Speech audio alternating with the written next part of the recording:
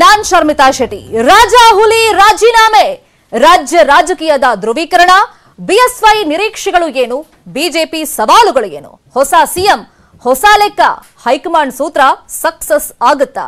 ರಾಜ ಹುಲಿ ರಾಜೀನಾಮೆ, what next? ವಿಶೇಷ ಚರ್ಚಾ ಕಾರ್ಯಕ್ರಮ ಇದು.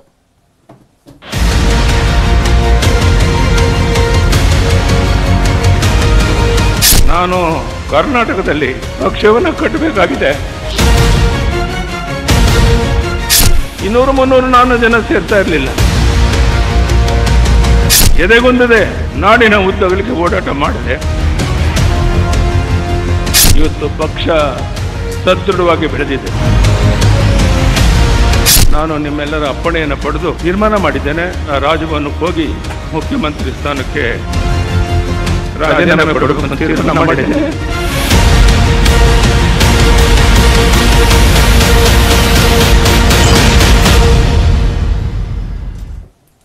ರಾಜ ಹುಲಿ ರಾಜೀನಾಮೆ ಬೆನ್ನಲ್ಲೇ ಹಲವಾರು ಲೆಕ್ಕಾಚಾರಗಳು ಇದೀಗ ಓಡಾಡ್ತಾ ಇವೆ.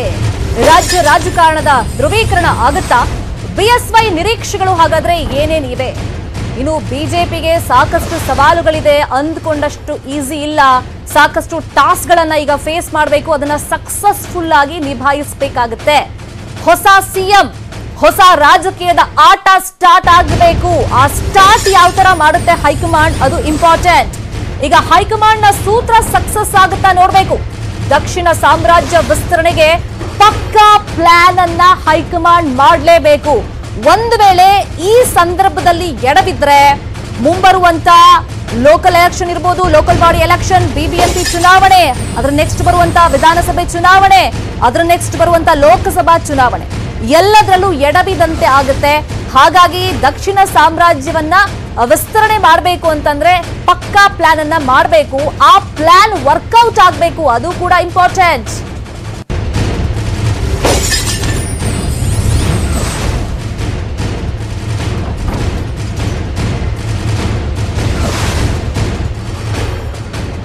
ಈಗ ಬಿಎಸ್ವೈ ನಿರೀಕ್ಷೆಗಳೇನು? ಬಿಜೆಪಿ ಸವಾಲುಗಳೇನು? ಬಿಎಸ್ವೈ ರಾಜೀನಾಮೆ ಕೊಡ್ತಾ ಇದ್ದಂತೆ ನಾನು ಪಕ್ಷ ಸಂಘಟನೆ ಮಾಡ್ತೀನಿ ಅಂತ ಹೇಳಿಬಿಟ್ಟಿದ್ದಾರೆ. ಈಗ ಪರ್ಯಾಯ ನಾಯಕನ ವಿಚಾರವಾಗಿನೂ ಕೂಡ ಒಂದಿಷ್ಟು ಚರ್ಚೆಗಳು ಪೀಕ್ ಲೆವೆಲ್ ಅಲ್ಲಿ ನಡೀತಾ ಇದೆ. ಯಾಕಂದ್ರೆ ಹೊಸ ಸಿಎಂ ಅಂದ್ರೆ ಹೊಸ ರಾಜಕೀಯದ ಆಟ ಶುರು ಮಾಡಬೇಕಾಗತ್ತೆ. ಆ ನಿಟ್ಟಿನಲ್ಲಿ ಈಗ ಹೈಕಮಾಂಡ್ನ ಲೆಕ್ಕಾಚಾರ ಏನು? ಯಾವೆಲ್ಲ ಮಾನದಂಡಗಳನ್ನ ಅನುಸರಿಸಿ ಅದನ್ನ ಪರಿಗಣನೆಗೆ ತಗೊಂಡು ಹೈಕಮಾಂಡ್ ನಿರ್ಧಾರವನ್ನ ಮಾಡಬಹುದು ಅನ್ನೋ ಕುತೂಹಲ ಇದ್ದೇ ಇದೆ. ಇದ್ರ ಮಧ್ಯದಲ್ಲಿ ಈಗ ಹೈಕಮಾಂಡ್ ಏನ್ ಸೂತ್ರ ಹೆಣೆಯುತ್ತೆ? ಅದು ಸಕ್ಸಸ್ ಆಗಬೇಕಾಗುತ್ತೆ. ದಕ್ಷಿಣ ಸಾಮ್ರಾಜ್ಯ ವಿಸ್ತರಣೆಗೆ ಪಕ್ಕಾ ಪ್ಲಾನ್ ಅನ್ನ ಇದೀಗ ಹೈಕಮಾಂಡ್ ಮಾಡಲೇಬೇಕಾಗತ್ತೆ. ನಾನು ನಿಮ್ಮೆಲ್ಲರ ಅಪ್ಪಣೆಯನ್ನು ಪಡೆದು ತೀರ್ಮಾನ ಮಾಡಿದ್ದೇನೆ. ಎಲ್ಲರೂ ಊಟ ಮಾಡಿದ ನಂತರ ರಾಜಭವನಕ್ಕೆ ಹೋಗಿ ಮುಖ್ಯಮಂತ್ರಿ ಸ್ಥಾನಕ್ಕೆ ರಾಜೀನಾಮೆ ಕೊಡಬೇಕು ಅಂತ ತೀರ್ಮಾನ ಮಾಡಿದ್ದೇನೆ. ದುಃಖದಿಂದಲ್ಲ ಸಂತೋಷದಿಂದ, ಖುಷಿಯಿಂದ ಎಪ್ಪತ್ತೈದು ವರ್ಷ ದಾಟದಂಥ ಯಡಿಯೂರಪ್ಪನಿಗೆ ಮತ್ತೆ ಎರಡು ವರ್ಷ ಮುಖ್ಯಮಂತ್ರಿಯಾಗಿ ಮುಂದುವರಿಕೆ ಮಾಡಿಕೊಟ್ಟಂಥ ಪ್ರಧಾನಿ ನರೇಂದ್ರ ಮೋದಿ ಅವರಿಗೆ, ಅಮಿತ್ ಶಾ ಅವರಿಗೆ, ನಡ್ಡಾ ಅವರಿಗೆ ಶಬ್ದಗಳಲ್ಲಿ ಅಭಿನಂದನೆ ಸಲ್ಲಿಸೋಕ್ಕಾಗೋದಿಲ್ಲ. ಅವರಿಗೆ ನಾನು ಋಣಿಯಾಗಿದ್ದೇನೆ. ಅವರೇನು ಕರ್ನಾಟಕದಲ್ಲಿ ಪಕ್ಷ ಬಲವರ್ಧನೆಯಾಗಿ ಮತ್ತೊಮ್ಮೆ ಅಧಿಕಾರಕ್ಕೆ ಬರಬೇಕು ಅನ್ನೋ ಅಪೇಕ್ಷೆ ಇದೆಯೋ, ಅದನ್ನು ನಾವೆಲ್ಲ ನೀವೆಲ್ಲ ಸೇರಿ ಮಾಡೋಣ ಅನ್ನೋ ಭರವಸೆಯನ್ನು ಕೊಟ್ಟು ಊಟದ ನಂತರ ನಾನು ರಾಜ್ಯಪಾಲರಿಗೆ ಹೋಗಿ ರಾಜೀನಾಮೆ ಪತ್ರವನ್ನು ಕೊಡ್ತಾ ಇದ್ದೇನೆ. ಅದಕ್ಕೆ ನಿಮ್ಮೆಲ್ಲರ ಸಹಕಾರ ಬೇಕು. ಎಲ್ಲರೂ ಒಟ್ಟಾಗಿ ಕೆಲಸ ಮಾಡೋಣ ಅಂತ ಮತ್ತೊಮ್ಮೆ ಪ್ರಾರ್ಥನೆ ಮಾಡಿ ನಾನು ನಿಮ್ಮೆಲ್ಲರ ಅಪ್ಪಣೆಯನ್ನು ಪಡೆದು ತೀರ್ಮಾನ ಮಾಡಿದ್ದೇನೆ. ಎಲ್ಲರೂ ಊಟ ಮಾಡಿದ ನಂತರ ರಾಜಭವನಕ್ಕೆ ಹೋಗಿ ಮುಖ್ಯಮಂತ್ರಿ ಸ್ಥಾನಕ್ಕೆ ರಾಜೀನಾಮೆ ಕೊಡಬೇಕು ಅಂತ ತೀರ್ಮಾನ ಮಾಡಿದ್ದೇನೆ. ದುಃಖದಿಂದಲ್ಲ ಸಂತೋಷದಿಂದ, ಖುಷಿಯಿಂದ ಎಪ್ಪತ್ತೈದು ವರ್ಷ ದಾಟದಂಥ ಯಡಿಯೂರಪ್ಪನಿಗೆ ಮತ್ತೆ ಎರಡು ವರ್ಷ ಮುಖ್ಯಮಂತ್ರಿಯಾಗಿ ಮುಂದುವರಿಕೆ ಮಾಡಿಕೊಟ್ಟಂಥ ಪ್ರಧಾನಿ ನರೇಂದ್ರ ಮೋದಿ ಅವರಿಗೆ, ಅಮಿತ್ ಶಾ ಅವರಿಗೆ, ನಡ್ಡಾ ಅವರಿಗೆ ಶಬ್ದಗಳಲ್ಲಿ ಅಭಿನಂದನೆ ಸಲ್ಲಿಸೋಕ್ಕಾಗೋದಿಲ್ಲ. ಅವರಿಗೆ ನಾನು ಋಣಿಯಾಗಿದ್ದೇನೆ. ಅವರೇನು ಕರ್ನಾಟಕದಲ್ಲಿ ಪಕ್ಷ ಬಲವರ್ಧನೆಯಾಗಿ ಮತ್ತೊಮ್ಮೆ ಅಧಿಕಾರಕ್ಕೆ ಬರಬೇಕು ಅನ್ನೋ ಅಪೇಕ್ಷೆ ಇದೆಯೋ, ಅದನ್ನು ನಾವೆಲ್ಲ ನೀವೆಲ್ಲ ಸೇರಿ ಮಾಡೋಣ. ಅನ್ನೋ ಭರವಸೆಯನ್ನು ಕೊಟ್ಟು ಊಟದ ನಂತರ ನಾನು ರಾಜ್ಯಪಾಲರಿಗೆ ಹೋಗಿ ರಾಜೀನಾಮೆ ಪತ್ರವನ್ನು ಕೊಡ್ತಾ ಇದ್ದೇನೆ. ಅದಕ್ಕೆ ನಿಮ್ಮೆಲ್ಲರ ಸಹಕಾರ ಬೇಕು. ಎಲ್ಲರೂ ಒಟ್ಟಾಗಿ. ಯಡಿಯೂರಪ್ಪ ರಾಜೀನಾಮೆ ಕೊಡ್ತಾ ಇದ್ದಂತೆ ರಾಜ್ಯ ಬಿಜೆಪಿಯಲ್ಲಿ ರಾಜಕೀಯ ಚಟುವಟಿಕೆಗಳು ಗರಿಗೆದರಿವೆ. ಈಗ ಮುಂದಿನ ಸಿಎಂ ಆಯ್ಕೆ ಮಾಡೋದಕ್ಕೆ ವರಿಷ್ಠರು ರಾಜ್ಯಕ್ಕೆ ಬರ್ತಾ ಇದ್ದಾರೆ. ಇವತ್ತು ರಾಜ್ಯ ಬಿಜೆಪಿ ಉಸ್ತುವಾರಿ ಅರುಣ್ ಸಿಂಗ್ ಬರ್ತಾರೆ ಇನ್ನೇನು ಕೆಲವೇ ಹೊತ್ತಲ್ಲಿ. ಇನ್ನು ನಾಳೆ ಕೇಂದ್ರದಿಂದ ವೀಕ್ಷಕರಾಗಿ ಧರ್ಮೇಂದ್ರ ಪ್ರಧಾನ್ ಅವರ ಆಗಮನ ಆಗುತ್ತೆ. ಸೊ ಇಲ್ಲಿ ಬಂದವ್ರು ಏನ್ ಮಾಡ್ತಾರೆ ಅಂದ್ರೆ ಬಿಜೆಪಿ ಶಾಸಕರುಗಳ ಅಭಿಪ್ರಾಯವನ್ನ ಸಂಗ್ರಹ ಮಾಡ್ತಾರೆ. ನಿಮ್ಮ ಪ್ರಕಾರ ಯಾರು ಹೊಸ ಸಿಎಂ ಆಗಬೇಕು? ಆಯ್ಕೆ ಮಾಡಿ ಒಂದು ಹೆಸರನ್ನ ಸೂಚಿಸಿ ಅಂತ ಕೇಳ್ತಾರೆ. ಮುಂದಿನ ಸಿಎಂ ಯಾರಾಗಬೇಕು ಅಂತ ಶಾಸಕರ ಜೊತೆಯಲ್ಲಿ ಚರ್ಚೆ ಮಾಡ್ತಾರೆ. ಬಹುಶಃ ಈಗ ನಡೆದಿರುವಂತಹ ಬೆಳವಣಿಗೆಗಳನ್ನ ಗಮನಿಸಿದ್ರೆ ರಾಜ್ಯ ಬಿಜೆಪಿಯಲ್ಲಿ ನಾಳೆ ಸಂಜೆ ವೇಳೆಗೆ ಹೊಸ ಸಿಎಂ ಹೆಸರು ಅಧಿಕೃತವಾಗಿ ಘೋಷಣೆಯಾಗುವಂತ ಚಾನ್ಸಸ್ ಇದೆ. ನೂತನ ಸಿಎಂ ಜೊತೆ ಇಬ್ಬರಿಗೆ ಲಿಂಗಾಯತ ಡಿಸಿಎಂ ಸ್ಥಾನ ಸಿಗುವಂತ ಚಾನ್ಸಸ್ ಇದೆ. ಈ ಲೆಕ್ಕಾಚಾರದಲ್ಲಿ ಸದ್ಯಕ್ಕೆ ಹೈಕಮಾಂಡ್ ಇದೆ ಅಂತ ಹೇಳಲಾಗ್ತಾ ಇದೆ.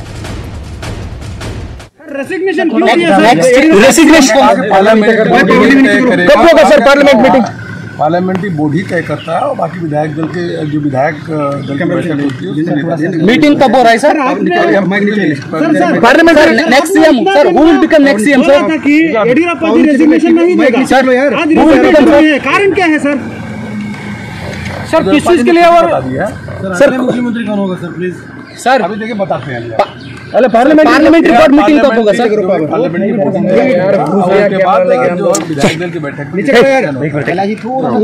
ओके सर सर टीम जाएगा बेंगलुरु को टीम टीम जाएगा सर टीम जाएगा कौन कौन रहेगा टीम में सर सभी को बहुत नहीं टीम जाएगा कौन कौन रहेगा टीम पे सर आप कब्जा कब्जा रहे सर एक सर टीम रिकॉर्ड बात कर दीजिए सर एटलीस्ट आप रिकॉर्ड एक दो मिनट बात करेंगे भाई साहब कब जा रहे आपको समय पावर नीचे करो बताएँगे। सर आप कब जा रहे हैं सर। बेंगलोर मैं आपको बताऊँगा सब कुछ कब सर। कुछ भी डिसाइड नहीं हुआ सर आप बताएँगे सर बताएँगे। और सभी को नमस्कार ओके थैंक यू सर?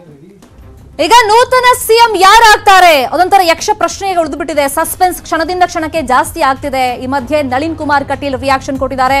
ನೂತನ ಸಿಎಂ ಆಗಿ ಕರ್ನಾಟಕದವರೇ ಆಯ್ಕೆ ಆಗ್ತಾರೆ. ಎಲ್ಲರ ಅಭಿಪ್ರಾಯ ಪಡೆದು ಸಿಎಂ ಹೆಸರು ಸೂಚಿಸುತ್ತಾರೆ ಅಂತ ದೆಹಲಿಯಲ್ಲಿ ಬಿಜೆಪಿ ರಾಜ್ಯಾಧ್ಯಕ್ಷ ನಳಿನ್ ಕುಮಾರ್ ಕಟೀಲ್ ಸ್ಪಷ್ಟನೆಯನ್ನ ಕೊಟ್ಟಿದ್ದಾರೆ.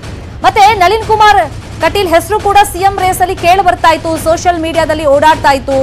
ಅದಕ್ಕೂ ಸ್ಪಷ್ಟನೆಯನ್ನ ಕಟೀಲ್ ಕೊಟ್ಟಿದ್ದಾರೆ. ನಾನು ಸಿಎಂ ರೇಸ್ನಲ್ಲಿ ಇಲ್ಲ. ವರಿಷ್ಠರು ರಾಜ್ಯಕ್ಕೆ ಬರ್ತಿರೋದು ನನಗ್ ಗೊತ್ತಿಲ್ಲ.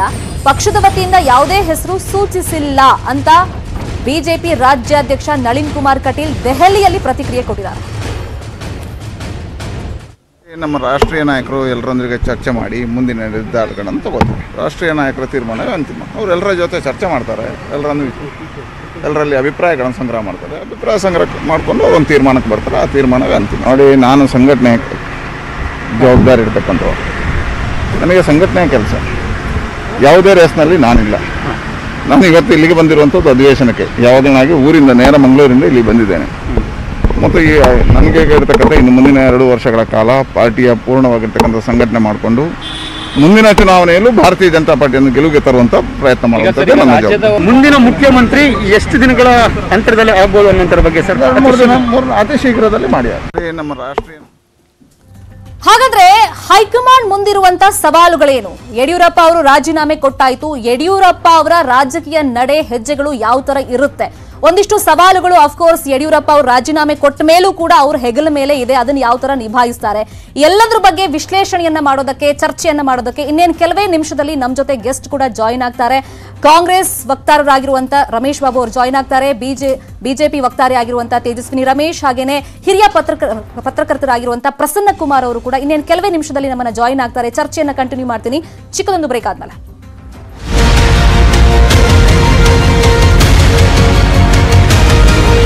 ನಾನು ಕರ್ನಾಟಕದಲ್ಲಿ ಪಕ್ಷವನ್ನು ಕಟ್ಟಬೇಕಾಗಿದೆ. ಇನ್ನೂರು ಮುನ್ನೂರು ನಾನು ಜನ ಸೇರ್ತಾ ಇರಲಿಲ್ಲ. ಎದೆಗೊಂದದೆ, ನಾಡಿನ ಉದ್ದಗಳಿಗೆ ಓಡಾಟ ಮಾಡಿದೆ. ಇವತ್ತು ಪಕ್ಷ ಸದೃಢವಾಗಿ ಬೆಳೆದಿದೆ. ನಾನು ನಿಮ್ಮೆಲ್ಲರ ಅಪ್ಪಣೆಯನ್ನು ಪಡೆದು ತೀರ್ಮಾನ ಮಾಡಿದ್ದೇನೆ. ರಾಜಭವನಕ್ಕೆ ಹೋಗಿ ಮುಖ್ಯಮಂತ್ರಿ ಸ್ಥಾನಕ್ಕೆ ರಾಜೀನಾಮೆ ಕೊಡಬೇಕು ಅಂತ ತೀರ್ಮಾನ ಮಾಡಿದೆ.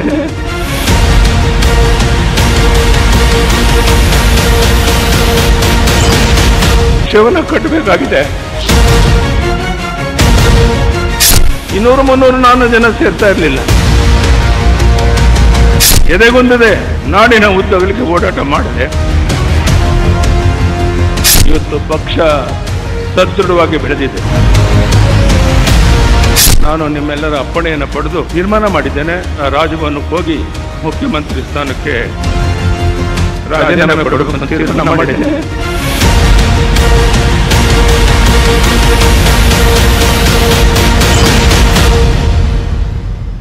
ವೆಲ್ಕಮ್ ಬ್ಯಾಕ್ ಇಷ್ಟು ದಿನ ಯಡಿಯೂರಪ್ಪ ಅವರ ರಾಜೀನಾಮೆ ಯಾವಾಗ ಅನ್ನೋದ್ರ ಬಗ್ಗೆ ಒಂದು ಪೀಕ್ ಲೆವೆಲ್ ಅಲ್ಲಿ ಚರ್ಚೆ ಆಗ್ತಿತ್ತು. ಇವತ್ತು ರಾಜೀನಾಮೆ ಕೊಟ್ಟಿದ್ದಾಗಿದೆ. ಸೊ ಈಗ ಮುಂದಿನ ಸಿಎಂ ಯಾರು? ಯಾವ ತರ ಹೈಕಮಾಂಡ್ ಆಯ್ಕೆ ಮಾಡುತ್ತೆ? ಸವಾಲುಗಳೇನು ಯಡಿಯೂರಪ್ಪ ಅವರ ಮುಂದಿನ ಹೆಜ್ಜೆಗಳು ಯಾವ ತರ ಇರುತ್ತೆ? ಈ ಬಗ್ಗೆ ಚರ್ಚೆಗಳಾಗ್ತಿದೆ. ಈ ಬಗ್ಗೆ ಸಂಪೂರ್ಣವಾಗಿ ವಿಶ್ಲೇಷಣೆಯನ್ನ ಮಾಡೋದಕ್ಕೆ, ಚರ್ಚೆಯನ್ನ ಮಾಡೋದಕ್ಕೆ ನಮ್ಮ ಜೊತೆ ಸ್ಟುಡಿಯೋದಲ್ಲಿ ಮೂರು ಜನ ಅತಿಥಿಗಳು ಜಾಯ್ನ್ ಆಗಿದ್ದಾರೆ. ಬಿಜೆಪಿ ವಕ್ತಾರೆ ಆಗಿರುವಂತಹ ತೇಜಸ್ವಿನಿ ರಮೇಶ್ ಅವರು ಜಾಯ್ನ್ ಆಗಿದ್ದಾರೆ. ನಮಸ್ತೆ ಮೇಡಮ್ ಕಾರ್ಯಕ್ರಮಕ್ಕೆ ಸ್ವಾಗತ ನಿಮಗೆ. ಇನ್ನು ಕಾಂಗ್ರೆಸ್ ವಕ್ತಾರರಾಗಿರುವಂತಹ ರಮೇಶ್ ಬಾಬು ಅವರು ಕೂಡ ಜಾಯ್ನ್ ಆಗಿದ್ದಾರೆ. ಸರ್, ನಮಸ್ತೆ. ಕಾರ್ಯಕ್ರಮಕ್ಕೆ ಸ್ವಾಗತ. ಇನ್ನು ಹಿರಿಯ ಪತ್ರಕರ್ತರಾಗಿರುವಂತಹ ಪ್ರಸನ್ನ ಕುಮಾರ್ ಅವರು ಜಾಯ್ನ್ ಆಗಿದ್ದಾರೆ. ಸರ್, ನಮಸ್ತೆ. ಕಾರ್ಯಕ್ರಮಕ್ಕೆ ಸ್ವಾಗತ ನಿಮಗೆ. ತೇಜಸ್ವಿನಿ ಮೇಡಮ್ ಇಷ್ಟು ದಿನ ರಾಜೀನಾಮೆ ಯಾವಾಗ ಅಂತ ಚರ್ಚೆಗಳಾಗ್ತಾ ಇತ್ತು. ಸೊ ಬಿಜೆಪಿಯವರು ಅದನ್ನ ಬಹಿರಂಗವಾಗಿ ಹೇಳದೇ ಇದ್ರು ಕೂಡ ನಾಯಕತ್ವ ಬದಲಾವಣೆ ಇಲ್ಲ ಇಲ್ಲ ಅಂತಾನೆ ವಾದಿಸ್ಕೊಂಡು ಬಂದ್ರು. ಅದಕ್ಕೊಂದು ಫುಲ್ ಸ್ಟಾಪ್ ಬಿದ್ದಿದೆ. ಸೊ ಈಗ ಮುಂದಿನ ಆಯ್ಕೆ ಯಾರು? ಸಿಎಂ ಯಾರು? ಜನಸಾಮಾನ್ಯರೇ ಕೇಳ್ತಾ ಇದ್ದಾರೆ ಮೀಡಿಯಾದವ್ರು ಬಿಡಿ, ಸಾಮಾನ್ಯ ಜನ ಕೇಳ್ತಿರೋದು, ಇಷ್ಟೆಲ್ಲ ಡೆವಲಪ್ಮೆಂಟ್ ಸಾಕಷ್ಟು ತಿಂಗಳಿಂದ ಆಗಿದೆ ಅಂದ್ರೆ ಹೈಕಮಾಂಡ್ ಹಾಗಾದ್ರೆ ಪರ್ಯಾಯ ನಾಯಕನನ್ನ ಹುಡುಕದೆ ಈ ತರ ರಾಜೀನಾಮೆ ಕೊಡಿಸಿದ್ಯಾ? ನಾವು ಕೇಂದ್ರ ನಾಯಕತ್ವ ಅಂತ ಕರಿತೀವಿ. ನೀವು ಹೈಕಮಾಂಡ್ ಅಂತ ಹೇಳೋದನ್ನ.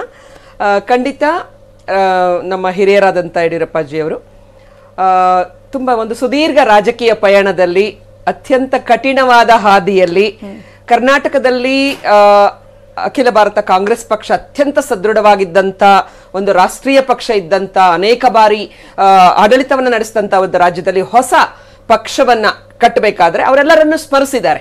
ಎಲ್ಲರ ಜೊತೆ ಕಷ್ಟಪಟ್ಟು ಪಾರ್ಟಿಯನ್ನ ಕಟ್ಟಿ ಇವತ್ತು ಒಂದು ರೂಲಿಂಗ್ ಪಾರ್ಟಿಗೆ ಬರುವಷ್ಟರ ಮಟ್ಟಿಗೆ ಪಕ್ಷ ಬಂದಿರತಕ್ಕಂಥ ಸುದೀರ್ಘ ಪಯಣವನ್ನ ಅವರು ಚುಟುಕಾಗಿ ಹೇಳಿದ್ದಾರೆ.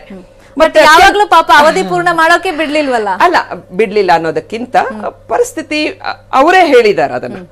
ಎಲ್ಲ ಕಷ್ಟಗಳನ್ನು ಅವರೇ ಹೇಳಿದ್ರು. ಕೇಂದ್ರ ನಾಯಕತ್ವ ಆ, ಬನ್ನಿ ಅಂತ ಕರೆದಾಗ್ಲೂ ಕೂಡ ಕರ್ನಾಟಕದಲ್ಲಿ ನಾನು ಪಾರ್ಟಿ ಕಟ್ಟಬೇಕಾಗಿದೆ ಅಂತ ಅವರ ಆಯ್ಕೆ ನಮ್ಮ ರಾಜ್ಯವನ್ನ ಮಾಡ್ಕೊಂಡಿದ್ದನ್ನ ಅವ್ರು ಹೇಳಿದ್ರು. ಅವರಿಗೆ ಪ್ರಿಯವಾದಂತ ಕ್ಷೇತ್ರ ಒಂದು ಕೃಷಿಕರ ಕ್ಷೇತ್ರ ಒಂದು ಈ ರಾಜ್ಯವನ್ನ ಒಂದು ಮಾದರಿ ಮಾಡಬೇಕು ಅಂತ. ಅವರಿಗೆ ಸಿಕ್ಕ ಅವಕಾಶಗಳಲ್ಲಿ ತನಗೆ ಸಿಕ್ಕ ಇತಿಮಿತಿಯಲ್ಲಿ ಅತ್ಯಂತ ಪ್ರಾಮಾಣಿಕವಾಗಿ ನಾನು ಆ ಕೆಲಸವನ್ನ ಕಷ್ಟಪಟ್ಟು ಮಾಡಿದ್ದೇನೆ ಆ ತೃಪ್ತಿ ನನಗಿದೆ ಅಂತೇಳಿ ತುಂಬಾ ನಿರ್ಮಳವಾಗಿ ಒಂದು ಧನ್ಯತಾ ಭಾವದಿಂದ ಪಕ್ಷಕ್ಕೆ ಕಾರ್ಯಕರ್ತರಿಗೆ ನಾಯಕತ್ವಕ್ಕೆ ಸ್ಮರಣೆ ಮಾಡಿ ಅವರು ಇವತ್ತು ರಾಜೀನಾಮೆಯನ್ನ ಕೊಟ್ಟಿದ್ದಾರೆ. ಅದರರ್ಥ ಮತ್ತೊಂದು ಯುಗ ಆರಂಭ ಆಗಬೇಕು ಹೊಸಬರಿಗೆ ಅವಕಾಶ ಕೊಡಬೇಕು. ಪಕ್ಷ ಇನ್ನಷ್ಟು ಬೆಳಿಬೇಕು. ಮತ್ತೊಮ್ಮೆ ಮೋದಿಯವರು ಮತ್ತು ಅಮಿತ್ ಶಾ ಅವರ ನೇತೃತ್ವದಲ್ಲಿ ದೇಶದಲ್ಲಿ ಮತ್ತೊಮ್ಮೆ ಬಿಜೆಪಿ ಬರಬೇಕು ಅಂತಕ್ಕಂಥ ತನ್ನ ಕನಸು. ಮತ್ತೆ ತಾನು ವಿರಮಿಸೋದಿಲ್ಲ. ನಾನು ಕಾರ್ಯಕರ್ತನಾಗಿ ರಾಜಕೀಯವಾಗಿ ಸಕ್ರಿಯವಾಗಿರ್ತೀನಿ. ನಾನು ಮತ್ತೆ ಪಕ್ಷದಲ್ಲಿ ತೊಡಗಿಸ್ಕೊಳ್ತೇನೆ ಅಂತಕ್ಕಂಥ ಮಾತನ್ನ ಹೇಳಿದ್ದಾರೆ. ಇದನ್ನ ಎಂಡ್ ಆಫ್ ಆನ್ ಎರಾ ಅಂತ ಕರಿತೀರಾ? ಬಿಗಿನಿಂಗ್ ಆಫ್ ಎಂಡ್ ಅಂತ ಡೆಫಿನೆಟ್ಲಿ ಈಗ ನೋಡಿ ವೀರೇಂದ್ರ ಪಾಟೀಲ್ ಅವರಿದ್ರು ನಿಜಲಿಂಗಪ್ಪಾಜಿ ಇದ್ರು ರಾಮಕೃಷ್ಣ ಹೆಗ್ಡೆ ಅವರಿದ್ರು ಯಾಕಂದ್ರೆ ನನ್ನ ಸನ್ಮಿತ್ರರು ನಮ್ಮ ಬಾಬು ಅವರಿರ್ಬೋದು ಅಥವಾ ಪ್ರಸನ್ನ ಅವರಿರ್ಬೋದು ಪತ್ರಕರ್ತರಾದಂಥ ಪ್ರಸನ್ನ ಅವರು ಮತ್ತು ಒಂದು ಇಂಟೆಲೆಕ್ಚುಯಲ್ ಆದಂಥ ಬಾಬು ಅವರು ನಾವೆಲ್ಲರೂ ಕೂಡ ನಾವು ನೀವು ನೋಡಿದಾಗ ಒಂದು ಎರಾನೆ ಇಂತಿಂತವರು ಇಂತಿಂಥವ್ರು ಒಬ್ಬ ಒಬ್ಬ ಬಂಗಾರಪ್ಪ ಒಬ್ಬ ದೇವೇಗೌಡರು ಒಬ್ಬ ಈ ತರದ ಒಂದು ವ್ಯಕ್ತಿತ್ವಗಳು ಅವರದೇ ಆದ ಕೊಡುಗೆಯನ್ನ ಕೊಡ್ತಾರೆ ಅವರದೊಂದು ವಿಶೇಷವಾಗಿ ನಿಲ್ತಾರೆ. ಹಾಗಾಗಿ ಯಡಿಯೂರಪ್ಪನವ್ರದ್ದು ಒಂದು ಎರ ಅಂತ ಖಂಡಿತ ಕರೀಬಹುದು. ಅದು ನಾವು ಬಿಜೆಪಿಯಲ್ಲಿ ಇವತ್ತಿನ ಒಂದು ಪೀಳಿಗೆಯವರಿಗೂ ಅವರ ನಾಯಕತ್ವದಲ್ಲಿ ಕೆಲಸ ಮಾಡುವಂತಹ ಅವರ ಮಾರ್ಗದರ್ಶನದಲ್ಲಿ ಬೆಳೆಯುವಂತಹ ಅನೇಕ ಎಲ್ಲ ಸಮಾಜಗಳನ್ನ ಗುರುತಿಸಿ ಅವರು ಬೆಳೆಸಿದ್ರು ತನಗೆ ಸಿಕ್ಕ ಅವಕಾಶದಲ್ಲಿ ಎಲ್ಲ ವರ್ಗಗಳಿಗೆ. ಸೇವೆ ಮಾಡೋ ಅವಕಾಶ ಅದಕ್ಕೆ ಆಮೇಲೆ ನಾನು ಎಕ್ಸ್ಪ್ಲೇಷನ್ ಕೇಳ್ತಾ ಹೋಗ್ತೀನಿ. ನಾನು ಆಗ್ಲೇ ಕೇಳ್ದಂಗೆ ಹೈಕಮಾಂಡ್ ಈಗ ಸೆಲೆಕ್ಷನ್ ಮಾಡಿದ್ಯಾ ಅಥವಾ ಇನ್ನು ಹುಡುಕಾಟದಲ್ಲಿ ಇದೆಯಾ? ನಮ್ಮಲ್ಲಿ ಕೇಂದ್ರ ನಾಯಕತ್ವ ಅಭಿಪ್ರಾಯವನ್ನ ಮಾತ್ರ ಕೇಳ್ತಾರೆ. ಒಂದು ಪೊಲಿಟಿಕಲ್ ಪಾರ್ಟಿಯಲ್ಲಿ ಚುನಾಯಿತ ಶಾಸಕರಿಂದ ಅಭಿಪ್ರಾಯವನ್ನ ಪಡೆದು ಶಾಸಕಾಂಗ ಪಕ್ಷ ತನ್ನ ನಾಯಕನನ್ನ ನಿರ್ಧರಿಸಿ ಅವರಿಗೆ ಒಂದು ಅವಕಾಶವನ್ನ ಮಾಡಿಕೊಡೋಣ ಡಿಪ್ಲೊಮ್ಯಾಟಿಕ್ ಆನ್ಸರ್ ಆಯ್ತು. ಫೈನ್ ಆಮೇಲೆ ನಾನು ಚರ್ಚೆಯನ್ನ ಮಾಡ್ತೀನಿ ನಿಮ್ಮ ಹತ್ರ. ರಮೇಶ್ ಬಾಬು ಸರ್ ಈ ಅವಕಾಶವನ್ನ ಕಾಂಗ್ರೆಸ್ ಹೆಂಗ್ ಎನ್ಕ್ಯಾಶ್ ಮಾಡ್ಕೊಳ್ಳುತ್ತೆ? ಒಂದು ನಾವು encash ಮಾಡ್ಕೊಳ್ಳೋಂಥದ್ದು. As a opposition party Congress ಪಕ್ಷ ಎನ್ಕ್ಯಾಶ್ ಮಾಡ್ಕೊಳ್ಳೋಂಥದ್ದು. ಇನ್ನೊಂದು ಭಾರತೀಯ ಜನತಾ ಪಕ್ಷದಲ್ಲೇ ನಮ್ಗೆ ದಾರಿ ಕೊಡೋಂಥದ್ದು ನನಗೆ ಇವತ್ತಿರೋ ಪರಿಸ್ಥಿತಿ ನಾವು ಇಲ್ಲಿನ ವೈಫಲ್ಯಗಳನ್ನ ವಿಶೇಷವಾಗಿ ಕರ್ನಾಟಕದಲ್ಲಿ ಯಡಿಯೂರಪ್ಪನವರ ಬಿ ಜೆ ಪಿ ಸರ್ಕಾರದ ಭ್ರಷ್ಟಾಚಾರ ಇರ್ಬೋದು ಪಕ್ಷದ ಆಂತರಿಕ ವ್ಯವಸ್ಥೆಯ ವೈಫಲ್ಯಗಳು ವೈಫಲ್ಯಗಳಿರ್ಬೋದು ಕೋವಿಡ್ ಸಮಯದಲ್ಲಿ ಮಾಡಿದಂಥ ವೈಫಲ್ಯಗಳು ಇರ್ಬೋದು ಇವೆಲ್ಲವನ್ನ ವ್ಯವಸ್ಥಿತವಾಗಿ ಡಿ ಕೆ ಶಿವಕುಮಾರ್ ಅವರ ನಾಯಕತ್ವದಲ್ಲಿ ಹಂಡ್ರೆಡ್ ನಾಟ್ ಔಟ್ ಮತ್ತೆ ಸಹ ಇದು ಸಹಾಯ ಹಸ್ತ ಆರೋಗ್ಯ ಹಸ್ತ ಈ ಸೈಕಲ್ ಜಾತ ಈ ಒಂದು ಸಮಸ್ಯೆಯನ್ನ ಕಾಂಗ್ರೆಸ್ ಮಾಡ್ಕೊಳ್ಳುತ್ತಾ ಅಂತ. ಯಾಕಂದ್ರೆ ನಾಯಕತ್ವ ಬದಲಾವಣೆ ಚರ್ಚೆ ಅವ್ರ ಪಾರ್ಟಿಲಿ ಆಗ್ತಿರುವಾಗ ನಿಮ್ಮವ್ರು ಬಾವಿ ಸಿಎಂ ಅಂತ ಒಂದು ಹೆಜ್ಜೆ ಮುಂದೆ ಹೋಗಿ ಗಲಾಟೆ ಮಾಡ್ಕೊಂಡು ಎಲ್ಲ ವೇಸ್ಟ್ ಮಾಡ್ಕೊಂಡ್ರಿ. ಸೊ ಅವರ ಒಂದು ವೈಫಲ್ಯವನ್ನ ಸರಿಯಾಗಿ ಯೂಸೇ ಮಾಡ್ಕೊಳ್ಲಿಲ್ವಲ್ಲ ಇಲ್ಲ ದಯಮಾಡಿ ತಾವು ಆಂಕರ್ ಇದ್ದೀರಾ. ನಾವು ಅಭಿಪ್ರಾಯವನ್ನ ಮಧ್ಯದಲ್ಲಿ ಬ್ರೇಕ್ ಮಾಡಿ ಡೈವರ್ಟ್ ಮಾಡಬೇಡಿ. ನೀವು ಕೇಳಿದ ಪ್ರಶ್ನೆಗೆ ಉತ್ತರ ಕಂಪ್ಲೀಟ್ ಮಾಡಿ. ನೀವು- ಭಾರತೀಯ? ಭಾರತೀಯ ಜನತಾ ಪಕ್ಷದ ವಿರುದ್ಧ ಕಾಂಗ್ರೆಸ್ ನಿಲುವಿನ ಬಗ್ಗೆ ತಾವು ಪ್ರಶ್ನೆ ಕೇಳೋದು. ನಾನು ಇನ್ನು ಉತ್ತರನೇ ಮುಗಿಸಿಲ್ಲ. ಈಗ ನೀವು ಇನ್ನು ತಗೊಂಡೋಗಿ ಇನ್ನೆಲ್ಲ ಲಿಂಕ್ ಮಾಡೋ ಪ್ರಯತ್ನ ಮಾಡಬೇಡಿ. ಪ್ರಶ್ನೆ ಇರ್ತಕ್ಕಂಥದ್ದು ಕಾಂಗ್ರೆಸ್ ಪಕ್ಷದಲ್ಲಿ ಯಾವತ್ತೂ ಸಹ ಬಹು ನಾಯಕತ್ವದಲ್ಲಿ ಚುನಾವಣೆಗಳನ್ನ ಎದುರಿಸ್ತೇವೆ. ಇವತ್ತೇನು ಸ್ವಲ್ಪ ಅಧಿಕಾರಕ್ಕೋಸ್ಕರ ಪೈಪೋಟಿ ನಡೆಯುವಂಥದ್ದು ಹೊಸದಲ್ಲ ಅದು. ಕಾಂಗ್ರೆಸ್ ಪಕ್ಷ ಹುಟ್ಟಾಗ್ಲಿಂದಲೂ ಸಹ ಆ ಥರದ ಪರಿಸ್ಥಿತಿ ಇದೆ. ನಮ್ಮಲ್ಲೂ ಸಹ ಹೈಕಮಾಂಡ್ ಸಂಸ್ಕೃತಿ ಬಿಜೆಪಿ ಅನ್ನೋದು ಕಲ್ತಿದ್ರೆ ಅದು ಕಾಂಗ್ರೆಸ್ ಇಂದ ಅದಿರ್ಲಿ ಅದು ಬೇರೆ ಸಂದರ್ಭ ಚರ್ಚೆ ಮಾಡೋಣ. ಇವತ್ತಿರ್ತಕ್ಕಂಥದ್ದು ಯಡಿಯೂರಪ್ಪನವರು no doubt is a mass leader ಆಗಲೇ ಮೇಡಮ್ ಅವರು ಬಹಳಷ್ಟು ನಾಯಕರ ಹೆಸರುಗಳನ್ನ ಪ್ರಸ್ತಾಪ ಮಾಡಿದ್ರು. ದೇವರಾಜ್ ಅರ್ಸೂರ್ ಅವರು ಇರ್ಬೋದು ಸಿದ್ದರಾಮಯ್ಯನವ್ರು ಇರ್ಬೋದು ಬಂಗಾರಪ್ಪನವ್ರು ಇರ್ಬೋದು ಮಲ್ಲಿಕಾರ್ಜುನ್ ಖರ್ಗೆರವ್ರು ಇರ್ಬೋದು ಅದೇ ರೀತಿ ಯಡಿಯೂರಪ್ಪನವ್ರು ಇರ್ಬೋದು ದೇವೇಗೌಡರು ಇರ್ಬೋದು they are all mass leaders no doubt in that ಆದರೆ ಪ್ರಶ್ನೆ ಇರ್ತಕ್ಕಂಥದ್ದು ಯಡಿಯೂರಪ್ಪನವ್ರು ಇವತ್ತೇನ ಕಣ್ಣೀರು ಹಾಕೊಂಡು ಹೋಗ್ತಾ ಇದ್ದಾರೆ. ಅವ್ರನ್ನ ಬೇರೆ ಬೇರೆ ಕಾರಣಕ್ಕೆ ಪಕ್ಷದಿಂದ ಹೊರದಬ್ಬಂತ ಕೆಲಸವನ್ನ ಇವತ್ತು ಭಾರತೀಯ ಜನತಾ ಪಕ್ಷದಲ್ಲಿ ವ್ಯವಸ್ಥಿತವಾಗಿ ಮಾಡಿದ್ದಾರೆ. ಪ್ರಶ್ನೆ ಬೇರೆ ಹಂಗಂತೇಳಿ ನಾವೇನೋ. ಯಡಿಯೂರಪ್ಪನ ಅಪ್ಕೊಳ್ಳೋದಕ್ಕೆ ಹೋಗ್ತಾ ಇಲ್ಲ. ಪ್ರಶ್ನೆ ಇರ್ತಕ್ಕಂಥದ್ದು ಭಾರತೀಯ ಜನತಾ ಪಕ್ಷದ ವ್ಯವಸ್ಥಿತವಾದಂತಹ ಭ್ರಷ್ಟಾಚಾರ ಮತ್ತು ಆ ಪಕ್ಷದಲ್ಲಿರ್ತಕ್ಕಂಥದ್ದು ಆಂತರಿಕ ಗುಂಪುಗಾರಿಕೆ ಇವತ್ತು ಅವನ ಹೊರದಬ್ಬುವಂತ ವ್ಯವಸ್ಥಿತ ಪ್ರಯತ್ನ ಹೈಕಮಾಂಡ್ ಆಗಿದೆ. ಈಗ ಪ್ರಶ್ನೆ ಇರ್ತಕ್ಕಂಥದ್ದು ಕೇಳ್ತಾ ಇದ್ದಾರೆ ಮುಂದೆ ಯಾರು ತರ್ತಾರೆ ಏನ್ ಮಾಡ್ತಾರೆ? ಅವರು ಆ ಭಾರತೀಯ ಜನತಾ ಪಕ್ಷದ ಸ್ಪಷ್ಟಪಡಿಸ್ಬೇಕು. ಯಾಕೆಂದ್ರೆ ಕಟೀಲ್ ಅವರು ಮೊನ್ನೆ ಒಂದು ಆಡಿಯೋ ಬಿಟ್ಟಿದ್ದಾರೆ. ಸಿದ್ದರಾಮಯ್ಯನವ್ರ ಮೇಲೆ ದಲಿತ ಮುಖ್ಯಮಂತ್ರಿ ಬಗ್ಗೆ ಅವರು ಕೆಲವು ಪ್ರಸ್ತಾವ ಮಾಡಿದ್ದಾರೆ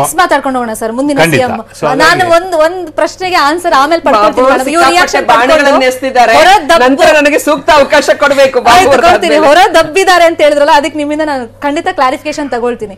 ಸರ್ ನಿನ್ನೆನೂ ಕೂಡ ನ್ಯೂಸ್ ಏಟೀನ್ನ ಫೇಸ್ಬುಕ್ ಲೈವ್ನಲ್ಲಿ ನೀವು ಮಾತಾಡುವಾಗ ಇದು ಸಾಕಷ್ಟು ದಿನಗಳಿಂದ ಆಗಿರೋದು ಆಲ್ ಆಫ್ ಸಡನ್ ಆಗಿರೋದಂತೂ ಅಲ್ಲ ಅಂತ. ನಾನು ನಿಮ್ಮಿಂದ ಕೇಳೋಕೆ ಬಯಸೋದು ನೀವು ಪತ್ರಕರ್ತರಾಗಿ ಇಷ್ಟು ದಿನ ವರದಿಗಾರಿಕೆ ಎಲ್ಲ ಮಾಡಿರ್ತೀರಾ ರಾಜಕೀಯದಲ್ಲಿ ಏನೆಲ್ಲ ಆಗಿರುತ್ತೆ ಇನ್ಸೈಡ್ ಮಾಹಿತಿ ಗೊತ್ತಿರುತ್ತೆ. ಸೊ ಹೈಕಮಾಂಡ್ ಹಾಗಾದ್ರೆ ಆಯ್ಕೆ ಮಾಡ್ದಲೇ ರಾಜೀನಾಮೆ ಕೊಡಿಸ್ಕೊಂಡಿರುತ್ತಾ? ಶರ್ಮಿತಾ ನೋಡಿ ಸಾಕಷ್ಟು ಪೂರ್ವ ಸಿದ್ಧತೆ ನಡೆದಿರ್ತದೆ. ಏಕೆಂದ್ರೆ ಒಂದು ಬಿ ಜೆ ಪಿಯಿಂದ ಅದೊಂದು ನ್ಯಾಷನಲ್ ಪಾರ್ಟಿ ಪೊಲಿಟಿಕಲ್ ಪಾರ್ಟಿ. ಸುಮ್ಮನೆ ಇವತ್ತು ಏನೋ ರಾಜೀನಾಮೆ ಕೊಟ್ಬಿಟ್ಟು ನಾಳೆ ಯಾರನ್ನು ಮಾಡೋಣ ಅಂತ ಯೋಚನೆ ಮಾಡೋ ಅಂತ ಇವತ್ತು ಯಡಿಯೂರಪ್ಪನವರು ರಾಜೀನಾಮೆ ಅವರು ತಗೋಬೇಕಾದಂಥ ಸಂದರ್ಭದಲ್ಲೂ ಯಾತಕ್ಕೋಸ್ಕರ ರಾಜೀನಾಮೆ ಅವ್ರು ಕೊಡಬೇಕು ಅನ್ನೋದು ಸಾಕಷ್ಟು ಚರ್ಚೆ ಆಗಿರ್ತದೆ. ಅವರು ಯಡಿಯೂರಪ್ಪನವರು ಎಕ್ಸಿಟ್ ಆದ ನಂತರ ಏನು ವ್ಯಾಕ್ಯೂಮ್ ಕ್ರಿಯೇಟ್ ಆಗ್ತದೆ ಪೊಲಿಟಿಕಲಿ ಅದಕ್ಕೆ ಯಾರನ್ನಿಂದ ಭರ್ತಿ ಮಾಡಬೇಕು ಅನ್ನೋದ್ರ ಬಗ್ಗೆ ಸಾಕಷ್ಟು ಚರ್ಚೆ ಆಗಿದೆ ಎಕ್ಸಾಕ್ಟ್ಲಿ ಅದೆಲ್ಲ ಚರ್ಚೆ ಮಾಡಿದ್ರೆ ಈ ಥರ ಮಹತ್ವದ ನಿರ್ಧಾರಗಳನ್ನ ಮಾಡ್ಲಿಕ್ಕೆ ಆಗೋದಿಲ್ಲ. ಯಾಕಂದ್ರೆ ಬಿಜೆಪಿಗೆ ಕರ್ನಾಟಕನ ಒಂದು ಬಹಳ ಪ್ರಮುಖವಾದ ಒಂದು ರಾಜ್ಯ. ಇವತ್ತಲ್ಲಿ ಸರ್ಕಾರ ಮಾಡಿದ್ರೆ ಇಪ್ಪತ್ತೈದು ಜನ ಎಂ ಪಿಗಳು ಕರ್ನಾಟಕದಿಂದ ಎಲೆಕ್ಟ್ ಆಗಿದ್ದಾರೆ ಅವರಿಗೆ. ಆಮೇಲೆ ದಕ್ಷಿಣ ಭಾರತದಲ್ಲಿ ಮೊದಲನೇ ಸರ್ಕಾರ ಬಿಜೆಪಿ ಹೆಬ್ಬಾಗಿಲು. ಅಂತಲೇ ಅವರು ಬಂದಿದ್ದು. ಹಾಗಾಗಿ ಅಷ್ಟು ಸುಲಭವಾಗಿ ಇದು ಮಾಡೋದಿಲ್ಲ. ಸೊ ಸಾಕಷ್ಟು ಪೂರ್ವ ಸಿದ್ಧತೆ ಆಗಿರ್ತದೆ ಅನ್ನೋ ಶಾರ್ಟ್ ಲಿಸ್ಟ್ ಮಾಡ್ಕೊಂಡಿರ್ತಾರೆ. ಆದರೆ ಈ ನಾವು ಈ ಪ್ರೋನ್ಸ್ ಪ್ರೋಸ್ ಅಂಡ್ ಕಾನ್ಸ್ ಅಂತೀವಿ. ಏನಾದರೂ ಏನಾಗ್ಬೋದು. ಈಗ ಯಡಿಯೂರಪ್ಪನ ರಾಜೀನಾಮೆ ಕೊಟ್ಟರು ಯಾವ ರೀತಿ ಕೊಡ್ತಾರೆ? ಯಾಕಂದ್ರೆ ಎಲ್ರಿಗೂ ಒಂದು ಅನುಮಾನ ಇತ್ತು. ಯಡಿಯೂರಪ್ಪನವ್ರು ಸುಮ್ಮನೆ ರಾಜೀನಾಮೆ ಕೊಡ್ತಾರಾ? ಅಥವಾ ಹೈಕಮಾಂಡ್ ವಿರುದ್ಧ ಏನಾದ್ರು ತಿರುಗಿ ಬೀಳ್ತಾರಾ? ಬೇರೆ ಇನ್ನೇನಾದ್ರು ಮಾಡ್ತಾರಾ? ಸಾಕಷ್ಟು ಇತ್ತು ಯಾಕಂದ್ರೆ ಅದನ್ನೆಲ್ಲ ಎಲ್ಲ ನನಗೆ ತುಂಬಾ ಜನ ಹೌದು. ಹೈಕಮಾಂಡ್ನಿಂದ ಒತ್ತಡ ಇತ್ತ. ಯಾವ ರೀಸನ್ಗೋಸ್ಕರ ಯಾವ ಕಡೆಯಿಂದ ಏನೇ ಒತ್ತಡ ಇದ್ರು ಎಂಡ್ ಆಫ್ ದ ಡೇ ಯಡಿಯೂರಪ್ಪನವ್ರು ಏನ್ ತೀರ್ಮಾನ ಮಾಡ್ತಾರೆ? ಅವ್ರು ಯಾವ ರೀತಿ ಪ್ರತಿಕ್ರಿಯೆ ಕೊಡ್ತಾರೆ ಅಂತ ಬಹಳ ಪ್ರಮುಖವಾಗಿತ್ತು. ಹೌದು. ಅಂದ್ರೆ ರೆಸಿಸ್ಟ್ ಮಾಡಿದ್ರೆ ರಿಸೈನ್ ಮಾಡ್ತಾರ? ಅಷ್ಟು ಸುಲಭವಾಗಿ ಮಾಡ್ತಾರ ಅನ್ನೋದು ಒಂದು ಇತ್ತು. ಯಾಕೆಂದ್ರೆ ಯಡಿಯೂರಪ್ಪನವರು ಕರ್ನಾಟಕದ ಬಿಜೆಪಿ ಬಿಜೆಪಿ ಯಡಿಯೂರಪ್ಪ ಆತ. ಯಾಕಂದ್ರೆ ನಲವತ್ತು ವರ್ಷಗಳ ಸತ ಸುದೀರ್ಘ ಇತಿಹಾಸ ಇದೆ. ಯಡಿಯೂರಪ್ಪನವ್ರಿಗೂ ರಾಜ್ಯದ ಬಿಜೆಪಿಗೂ ಅಂತ ಸಂದರ್ಭದಲ್ಲಿ ಯಾವ ರೀತಿ ಪ್ರತಿಕ್ರಿಯೆ ಕೊಡ್ತಾರೆ? ಈ ರಾಜೀನಾಮೆ ವಿಚಾರಕ್ಕೆ ಅನ್ನೋದು ಒಂದಿತ್ತು ಯಾಕಂದ್ರೆ ಹೈಕಮಾಂಡ್ ಅವ್ರ ಕ್ಯೂರಿಯಾಸಿಟಿ ಇತ್ತು. ಯಾಕಂದ್ರೆ ಯಾರು ಯಾರು ಬಿಚ್ಚು ಮನಸ್ಸಿನಿಂದ ಮಾತಾಡಲ್ಲ ಇಲ್ಲಿ. ಆ ಸಂದರ್ಭ ಬಂದಾಗಲೇ ಗೊತ್ತಾಗೋದು.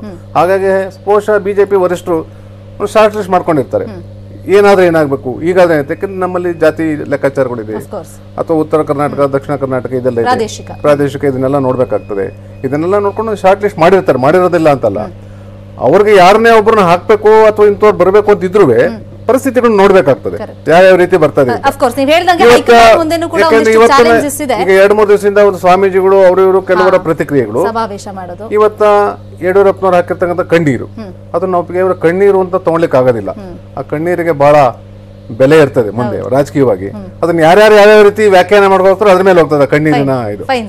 ಈಗ ಯಡಿಯೂರಪ್ಪನವ್ರ ಮುಂದಿನ ನಡೆ ಬಗ್ಗೆನೂ ಕೂಡ ಒಂದ್ ಸ್ವಲ್ಪ ಸಸ್ಪೆನ್ಸ್ ಇದ್ದೇ ಇದೆ. ಯಾಕಂದ್ರೆ ಮಕ್ಕಳ ರಾಜಕೀಯ ಭವಿಷ್ಯವನ್ನು ಕೂಡ ನೋಡ್ಕೋಬೇಕಾಗುತ್ತೆ, ಯಾವ ತರ ಅದಕ್ಕೆ ಬುನಾದಿ ಹಾಕ್ತಾರೆ ಅಂತ. ಇನ್ನೊಂದ್ ಕಡೆ ಹೈಕಮಾಂಡ್ ಮುಂದಿರುವಂತ ಸವಾಲುಗಳೇನು? ಯಾವ ಮಾನದಂಡವನ್ನ ಆಧರಿಸಿ ಹೈಕಮಾಂಡ್ ಮುಂದಿನ ನಾಯಕನ ಆಯ್ಕೆ ಮಾಡುತ್ತೆ? ಎಲ್ಲದರ ಬಗ್ಗೆ ಚರ್ಚೆಯನ್ನು ಮುಂದುವರಿಸ್ತೀನಿ. ಚಿಕ್ಕದೊಂದು ಬ್ರೇಕ್ ಆದ್ಮೇಲೆ.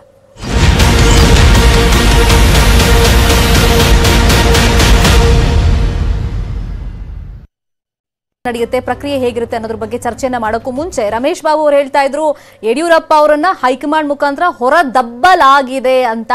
ತೇಜಸ್ವಿನಿ ಮೇಡಮ್ ಒಂದು ಆರೋಗ್ಯ ದೃಷ್ಟಿಯಿಂದನ ಅಥವಾ ವಯಸ್ಸಾಗಿದೆ ಅನ್ನೋ ಕಾರಣನ ಅಥವಾ ಯಡಿಯೂರಪ್ಪ ಅಂಡ್ ಫ್ಯಾಮಿಲಿ ಭ್ರಷ್ಟಾಚಾರದಲ್ಲಿ ತೊಡಗಿದೆ ಅಂತನ?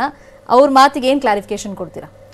ಒಂದು ಸೇಯಿಂಗ್ ಇದೆ health and wealth you cannot hide ಅಂತ. ಯಡಿಯೂರಪ್ಪನವರ ಕಾರ್ಯವೈಖರಿ, ಅವರು ಚುರುಕುತನದ ಕೆಲಸ, ನನಗಿಂತ ಚೆನ್ನಾಗಿ ಮಾಧ್ಯಮದಲ್ಲಿ ದಿನ ರಿಪೋರ್ಟ್ ಮಾಡ್ತೀರಾ?